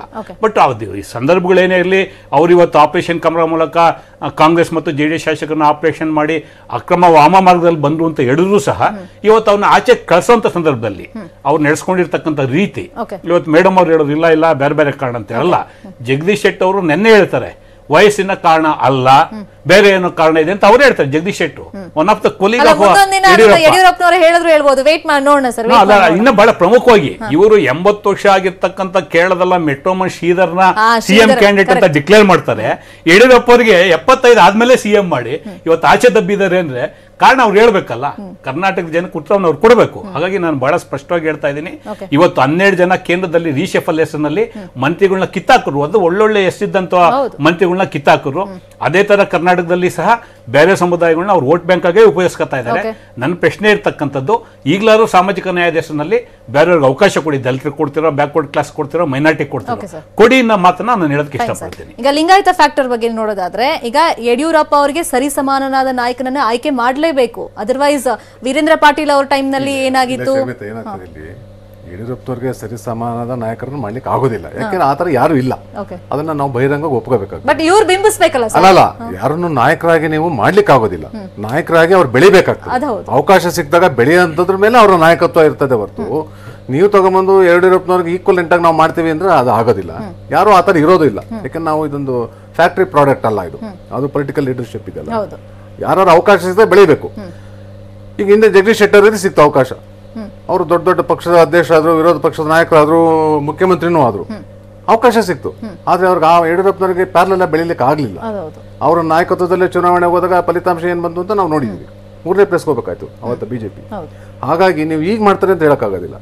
ಆದ್ರೆ ಈಗ ನಮ್ಗಿರ್ತಕ್ಕಂಥದ್ದು ಸಾಕಷ್ಟು ಚರ್ಚೆ ನಡೀತಾ ಇದೆ. ಉತ್ತರ ಕರ್ನಾಟಕ ಲಿಂಗಾಯತರು ಮಾಡ್ತಾರೋ ಬ್ಯಾಕ್ವರ್ಡ್ ಕ್ಲಾಸ್ ಮಾಡ್ತಾರೋ. ಆದ್ರೆ ಇಲ್ಲೆಲ್ಲ ಒಂದ್ ಕಡೆ ಎಲ್ರಿಗೂ ಒಂದು ಇರ್ತಕ್ಕಂಥದ್ದು ಈ ಬಾರಿ ಒಂದು ಹಿಡನ್ ಅಜೆಂಡಾ ಇದೆ ಅನ್ನೋದೊಂದು ಗುಮಾನಿ ಇದೆ. ಇದು ಯಾರು ಅಭ್ಯರ್ಥಿಯಾಗಿ ಬರ್ತಾರೆ ಮುಖ್ಯಮಂತ್ರಿ ಅಭ್ಯರ್ಥಿ ಬಂದ್ರು ಈ ಹಿಡನ್ ಅಜೆಂಡಾ ಬಗ್ಗೆ ಸ್ವಲ್ಪ ಇದಿರ್ತದೆ. ಹಿಡನ್ ಅಜೆಂಡಾ ಬರ್ತಿದ್ದಂಗೆ ಸಾಕಷ್ಟು ಹೆಸರುಗಳು ಓಡಾಡ್ತದೆ. ನಾನಿಲ್ಲಿ ಹೇಳಲಿಕ್ಕೆ ಹೋಗೋದಿಲ್ಲ ಯಾಕೆಂದ್ರೆ ಅದು ಸಾರ್ವಜನಿಕವಾಗಿ ಆಲ್ರೆಡಿ ಚರ್ಚೆನಲ್ಲಿದೆ. ಆ ಹಿಡನ್ ಅಜೆಂಡಾ ನಿಜವಾಗ್ಲೂ ಇತ್ತ? ಅದೇನಾದ್ರು ವರ್ಕೌಟ್ ಆಗುತ್ತಾ? ಅಥವಾ ಅಷ್ಟು ಧೈರ್ಯ ಮಾಡ್ತಾರಾ? ಹಿಂದೆ ಒಂದ್ಸಲ ಅನಂತಕುಮಾರ್ ಅವ್ರಿಗೆ ಒಂದು ಆಸೆ ಇತ್ತು. ಅವ್ರು ಬಹಿರಂಗ ಹೇಳಿದ್ರು. ಅದಕ್ಕೋಸ್ಕರ ಅವರು ನೇರವಾಗಿ ಬಂದರು. ಎರಡ್ ಸಾವಿರದ ನಾಲ್ಕರ ಚುನಾವಣೆಯಲ್ಲಿ ಕೇಂದ್ರ ಸಚಿವರಾಗಿದ್ದರು ಸಚಿವರಾಗಿದ್ರು ಅವರು ಆ ಸಚಿವ ಸ್ಥಾನ ಬಿಟ್ಟು ರಾಜ್ಯ ಬಿ ಜೆ ಪಿ ಅಧ್ಯಕ್ಷರಾಗಿ ಬಂದು ಅವ್ರು ಬಂದು ಉದ್ದೇಶನೇ ಅವತ್ತು ನೇರವಾಗಿ ಅವರು ಮುಕ್ತವಾಗಿ ಮಾತಾಡಿದ್ರು. ಅವಕಾಶ ಸಿಕ್ಕು ನಾನು ಮುಖ್ಯಮಂತ್ರಿ ಅದು. ಅಂದ್ರೆ ಚುನಾವಣೆಗೆ ಬಂದ್ರು. ಚುನಾವಣೆಗೆ ನಿಲ್ಲಲಿಲ್ಲ ಬಟ್ ರಾಜ್ಯ ಬಿಜೆಪಿ ಅಧ್ಯಕ್ಷರಾಗಿ two thousand four election lead ಮಾಡಿದ್ರು. ಆದ್ರೆ ಅವತ್ತು ಬಂದಿದ್ದು ಎಪ್ಪತ್ತೊಂಬತ್ತು ಸೀಟು. ಇದು ವರ್ಕೌಟ್ ಆಗಲ್ಲ ಅನ್ನೋ ಕಾರಣಕ್ಕೆ ಅವರು ಹಾಗೆ ಸೈಲೆಂಟ್ ಆಗಿ ಹೊರಟೋದ್ರು. ಕೇಂದ್ರಕ್ಕೆ ಹೊರಟೋದ್ರು.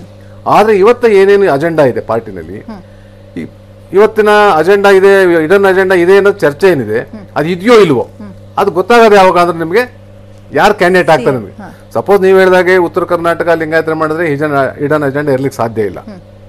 ಬೇರೆ ಏನಾದ್ರೂ ಇದನ್ನೆಲ್ಲ ಬಿಟ್ಟು ಬೇರೆ ಏನಾದ್ರು ಬಂದಂತ ಸಂದರ್ಭದಲ್ಲಿ ಅವು ಸಹಜವಾಗಿ ಇಡನ್ ಅಜೆಂಡಾ ಇತ್ತೋ ಇಲ್ವೋ ಅನ್ನೋದು ಗೊತ್ತಾಗ್ತದೆ.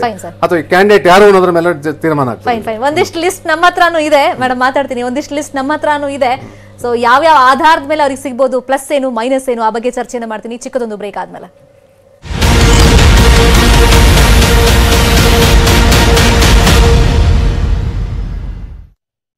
Back end of an era ಅಂತಾರಲ್ಲ, ತುಂಬಾ ಜನ ಸೋಷಿಯಲ್ ಮೀಡಿಯಾದಲ್ಲಿ ಯಡಿಯೂರಪ್ಪ ಬಗ್ಗೆ ಅದನ್ನೇ ಬರ್ಕೊಂಡಿದ್ದಾರೆ. ಇನ್ನು ಬಿ ಎಸ್ ವೈ ಕುಟುಂಬದಿಂದ ಒಂದು ಫೋಟೋ ಶೂಟ್ ಆಗಿದೆ. ಕುಟುಂಬದ ಸದಸ್ಯರೊಂದಿಗೆ ಸಿಎಂ ಫೋಟೋ ಶೂಟ್ ಮಾಡಿಸಿದ್ದಾರೆ. ಇದು ಕಾವೇರಿ ನಿವಾಸದಲ್ಲಿ ಇಡೀ ಫ್ಯಾಮಿಲಿ ಜೊತೆಗೆ ಫೋಟೋ ತೆಗೆಸಿದಂತ ಕ್ಷಣ.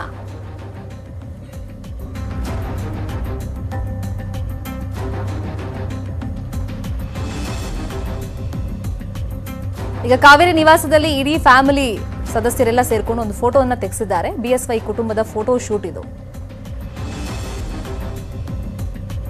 ಬಿಎಸ್ವೈ ರಾಜೀನಾಮೆಯಿಂದ ಸಂಪುಟ ವಿಸರ್ಜನೆ ಆಗಿದೆ. ಹಿನ್ನೆಲೆಯಲ್ಲಿ ವಿಧಾನಸೌಧದಲ್ಲಿ ಸಿಎಂ ಇರ್ಬೋದು, ಮತ್ತೆ ಸಚಿವರ ಕಚೇರಿಗಳೆಲ್ಲ ಖಾಲಿ ಖಾಲಿ ಆಗ್ಬಿಟ್ಟಿದೆ ಈಗ ಹಂಗಾಮಿ ಸಿಎಂ ಅಂತ ಯಡಿಯೂರಪ್ಪನವರಿದ್ದಾರೆ ಸಚಿವರು ಅಂತ ಯಾರೆಲ್ಲ ಇದ್ರು ಅವರೆಲ್ಲರೂ ಕೂಡ ಮಾಜಿ ಸಚಿವರು ಆಗ್ಬಿಟ್ಟಿದ್ದಾರೆ ಯಾರು ಇಲ್ಲ ವಿಧಾನಸೌಧದಲ್ಲಿ, ಖಾಲಿ ಖಾಲಿ ಅಂತ ಇದೆ, ಬಿಕೋ ಅಂತ ಇದೆ.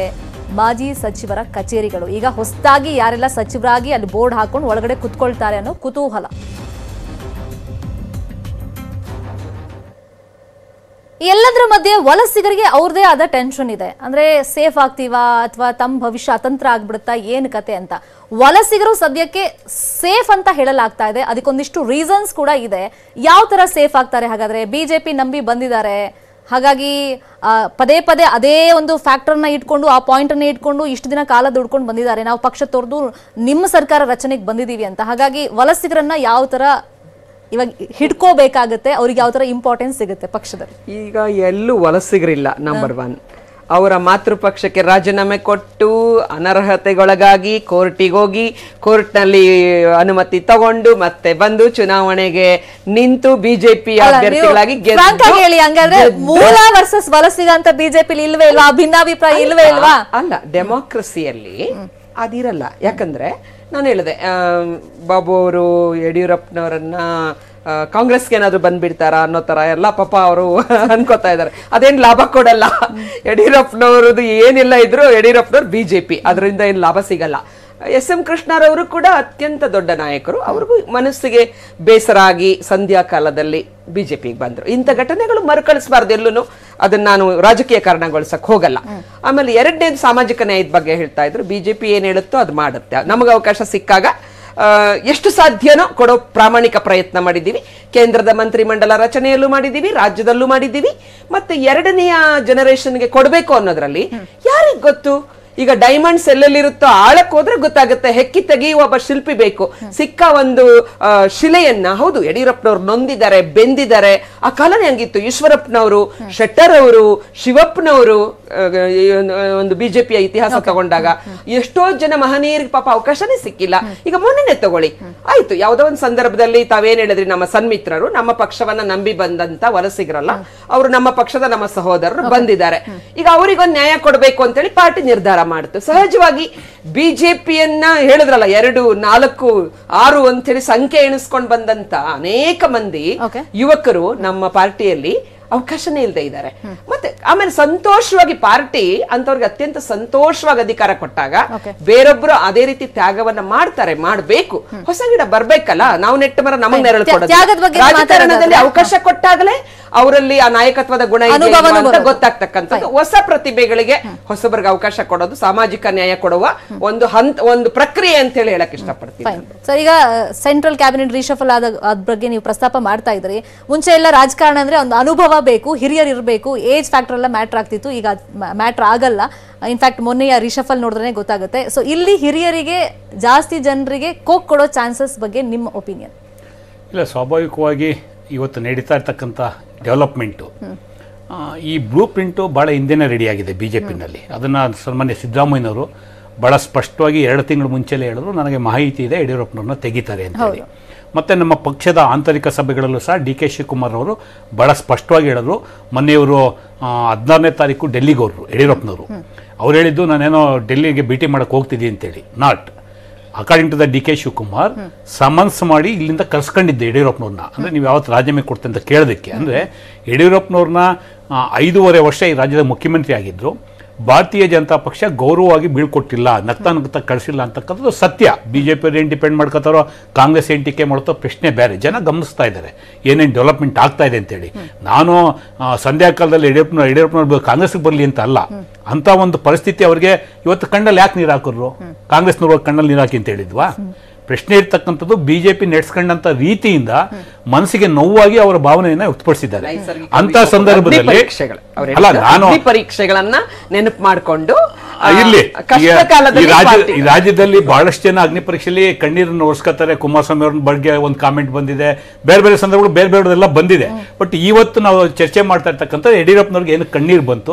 ಅದು ಕಾಂಗ್ರೆಸ್ ಪಕ್ಷದಿಂದ ಬಂತ ಬಿಜೆಪಿಯಿಂದ ಬಂತ. ಬಿಜೆಪಿನಲ್ಲಿ ಯಾರ್ಯಾರು ಅವ್ರನ್ನ ಎರಡು ವರ್ಷದಿಂದ ಯಾವ ರೀತಿ ನಡೆಸ್ಕೊಂಡು. ಹಂಗಂತೇಳಿ ನಾವು ಯಡಿಯೂರ- ಯಡಿಯೂರಪ್ಪನ ಸರ್ಕಾರವನ್ನು ಎಂಡಾಸ್ ಮಾಡ್ತಾ ಇಲ್ಲ. ಕಾಂಗ್ರೆಸ್ ಪಕ್ಷ ಬಹಳ ಸ್ಪಷ್ಟವಾಗಿ ಕರ್ನಾಟಕದಲ್ಲಿ ಬಿಜೆಪಿ ಸರ್ಕಾರದ ವೈಫಲ್ಯವನ್ನ ಬಹಳ ಸ್ಪಷ್ಟವಾಗಿ ವಿರೋಧ ಮಾಡ್ಕೊಂಡ್ ಬಂದಿದೆ ಇವತ್ತು ಮಾಡುತ್ತೆ. ಪ್ರಶ್ನೆ ಇರ್ತಕ್ಕಂಥದ್ದು ಒಬ್ಬ ಮಾಸ್ ಲೀಡರ್ ಆಗಿ ಯಡಿಯೂರಪ್ಪನವ್ರಿಗೆ ಕೊನೆ ದಿನಗಳಲ್ಲಿ ಭಾರತೀಯ ಜನತಾ ಪಕ್ಷ ಗೌರವ ಕೊಡಲಿಲ್ಲ ಅನ್ನೋದಷ್ಟೇ ನಮ್ಮ ಭಾವನೆ ಇರ್ತಕ್ಕಂಥದ್ದು. ಪ್ರಶ್ನೆ ಇರ್ತಕ್ಕಂಥದ್ದು ನಿನ್ನ ಮಂತ್ರಿಗಳ ಬಗ್ಗೆ ತಾವು ಹೇಳ್ತಿದ್ದೆ ವಲಸಿಗರು ಅಂತ ಏನಿಲ್ಲ. ನನ್ನ ಮಾತಲ್ಲಿ. ವಲಸಿಗರ ಪ್ರಶ್ನೆ ನಾವೆಲ್ಲ ಎತ್ತಿದ್ದು. ರೇಣುಕಾಚಾರ್ಯರವರೇ ಬಹಿರಂಗವಾಗಿ ಹೇಳಿದ್ರು. ವಲ್ಸಿಗರು ಮೂಲ ಬಿಜೆಪಿ ಅದನ್ನೇ ನಾನು ಅವ್ರಿಗೆ ಇದನ್ನು ಸಹ ಅವ್ರು ಅವ್ರು ಇರ್ಲಿ ಪಾಪ ಅವರು ಮೇಡಮ್ ಅವ್ರು ಹೇಳ್ಕೊಳಕ್ ಆಗಲ್ಲ ಯಾಕೆಂದ್ರೆ ಅವ್ರ ಪಾರ್ಟಿಯವ್ರು ಹೇಳಿದಾಗ ಅವ್ರು ಹೆಂಗ್ ಅದನ್ನ ಸಮರ್ಥನೆ ಮಾಡ್ಕೊತಾರೆ ಪ್ರಶ್ನೆ ಇರ್ತಕ್ಕಂಥದ್ದು ವಲಸಿಗರು ಅಂತ ಏನು ಇವತ್ತು ಅಲ್ಲಿ ಹೋಗಿದ್ದಾರೆ ಮತ್ತೆ ಅವ್ರು ಸಪ್ರೇಟ್ ಐಡೆಂಟಿಟಿ ಮೇಂಟೈನ್ ಮಾಡ್ಕೊಂಡ್ ಬಂದಿದ್ದಾರೆ. ಮೊನ್ನೆನೂ ಸಹ ರಾಜೀನಾಮೆ ಪತ್ರಗಳು ಇಟ್ಕೊಂಡು ಮೇಳದಲ್ಲಿ ತೋರಿಸ್ಕೊಂಡು ಒಳಗಡೆ ಹೋಗಿ ನಾವು ಟ್ರಾನ್ಸ್ಫರ್ ಕೇಳಕ್ ಹೋಗಿದ್ದು ಅಂತಾರೆ. ಪ್ರಶ್ನೆ ಅದಲ್ಲ ಭಾರತೀಯ ಜನತಾ ಪಕ್ಷದಲ್ಲಿ ಎಲ್ಲವೂ ಸಹ ಸರಿಯಾಗಿಲ್ಲ. ಯಾರು ಕಾಂಗ್ರೆಸ್ ನೀವ್ ನಮ್ಮ ಪಕ್ಷ ಎ ನ್ಯಾಷನಲ್ ಪಾರ್ಟಿ ನಮ್ಮ ಕೆಲಸ ನಾವು ಮಾಡ್ಕೊಂಡು ಹೋಗ್ತೀವಿ. ಅವತ್ತಿನ ಸಂದರ್ಭಕ್ಕೆ ನಮ್ಮ ಪಕ್ಷದ ಮುಖಂಡಗಳು ನಮ್ಮ ಪಿ ಸಿ ಸಿ ಪ್ರೆಸಿಡೆಂಟ್ ಇರ್ಬೋದು ಸಿ ಎಲ್ ಪಿ ನಾಯಕರು ಇರ್ಬೋದು ಹೈಕಮಾಂಡ್ ಇರ್ಬೋದು ತೀರ್ಮಾನ ತಗೋತಾರೆ. ಸರ್ ಈಗ ಕ್ವಿಕ್ ಆಗಿ ಇವಾಗ ರಾಜೀನಾಮೆ ರಾಜೀನಾಮೆ ಅಂತ ರಾಜೀನಾಮೆ ಮುಗಿದು ಹೋಯಿತು ಈಗ ವಾಟ್ ನೆಕ್ಸ್ಟ್ ಇದೆಲ್ಲ ಮುಗಿಯೋದಕ್ಕೆ ಒಂದು ಹಂತಕ್ಕೆ ಬರೋದಕ್ಕೆ ಒಂದು ಎಷ್ಟು ದಿನಗಳು ಬೇಕಾಗ್ಬೋದು ಅಂದಾಜು? ಬಹುಶಃ ಹೊಸ ನಾಯಕರ ಆಯ್ಕೆ ಮಾಡಲಿಕ್ಕೆ ಹೊಸ ಮುಖ್ಯಮಂತ್ರಿನ ನೇಮಕ ಮಾಡಲಿಕ್ಕೆ ಎರಡು ಮೂರು ದಿವಸ ಬೇಕಾಗ್ಬೋದು. ಓಕೆ ಯಾಕೆಂದರೆ ಲೆಜಿಸ್ಲೇಟಿವ್ ಪಾರ್ಟಿ ಲೀಡರ್ ಅಬ್ಸರ್ ಕೇಂದ್ರದಿಂದ ಅಬ್ಸರ್ವರ್ಸ್ ಬರಬೇಕಾಗ್ತದೆ ಅಭಿಪ್ರಾಯಗಳು ಸಂಗ್ರಹ ಮಾಡಬೇಕು. ಲೆಜಿಸ್ಲೇಟಿವ್ ಪಾರ್ಟಿ ಮೀಟಿಂಗ್ ಆಗಿ ಸೆಲೆಕ್ಟ್ ಮಾಡಿ ಎಲ್ಲ ಒಂದು ಕನಿಷ್ಠ ಅಂದರೆ ಎರಡು ಮೂರು ದಿವಸ ಬೇಕಾಗ್ತದೆ ಇದು. ಯಾಕಂದ್ರೆ ಗಡಿಬಿಡಿ ಮಾಡೋ ಅಂಥದ್ದು ಏನು ಇದಿಲ್ಲ. ಯಾಕಂದರೆ ಈಗ ಹೋಗಲಿಲ್ಲ ಅಂದ್ರೆ ಇನ್ಯಾರೋ ಕಾಂಗ್ರೆಸ್ನವ್ರು ಬಂದಲ್ಲಿ ಕ್ಲೈಮ್ ಮಾಡ್ತಾರೆ ಏನೋ ಅರ್ಜೆಂಟ್ ಅರ್ಜೆಂಟ್ ಇಲ್ಲ ತದನಂತರ ಒಂದು ಪೂರ್ಣ ಪ್ರಮಾಣದ ಸ ಸಚಿವ ಸಂಪುಟ ಬೇಕು ಅಂದರೆ ಕನಿಷ್ಠ ಎರಡು ವಾರ ಮೂರು ವಾರ ಬೇಕಾಗ್ತದೆ. ಯಾಕೆ ಅಂತ ಹೇಳಿದ್ರೆ ಸಾಕಷ್ಟು ಗೊಂದಲಗಳು ಈ ನೀವೇನೇನಿಗೆ. ಮೂಲಗಳು ಮೂಲ ಬಿಜೆಪಿನವರು ಹಳಬರು ಹೊಸಬ್ರು ವಲಸಿಗರು ಎಲ್ಲರನ್ನೂ ಇಟ್ಕೊಂಡು ಬ್ಯಾಲೆನ್ಸ್ ಮಾಡಿಕೊಂಡು ಒಂದು ಸಚಿವ ಸಂಪುಟ ರಚನೆ ಮಾಡಬೇಕು ಅಂದಾಗ ಸಾಕಷ್ಟು ಟೈಮ್ ಟೈಮ್ ಬೇಕಾಗ್ತದೆ. ಸೊ ಹಾಗಾಗಿ ಬಹುಶಃ ಇನ್ನು ಆಗಸ್ಟ್ ಫಿಫ್ಟೀನ್ ಜೊತೆಗೆ ಎಲ್ಲ ಒಂದು ಸೆಟ್ಲ್ ಆಗ್ಬೋದು ಪೊಲಿಟಿಕಲಿ ದೇಶಕ್ಕೆ ಸ್ವಾತಂತ್ರ್ಯ ಬಿಜೆಪಿ ಆಮೇಲೆ ಒಂದು ತಾವಾಗಲೇ ಸರ್ಕಾರ- ವಲಸಿಗರ ಬಗ್ಗೆ ಒಂದು ಹೇಳ್ತಾ ಇದ್ರಿ.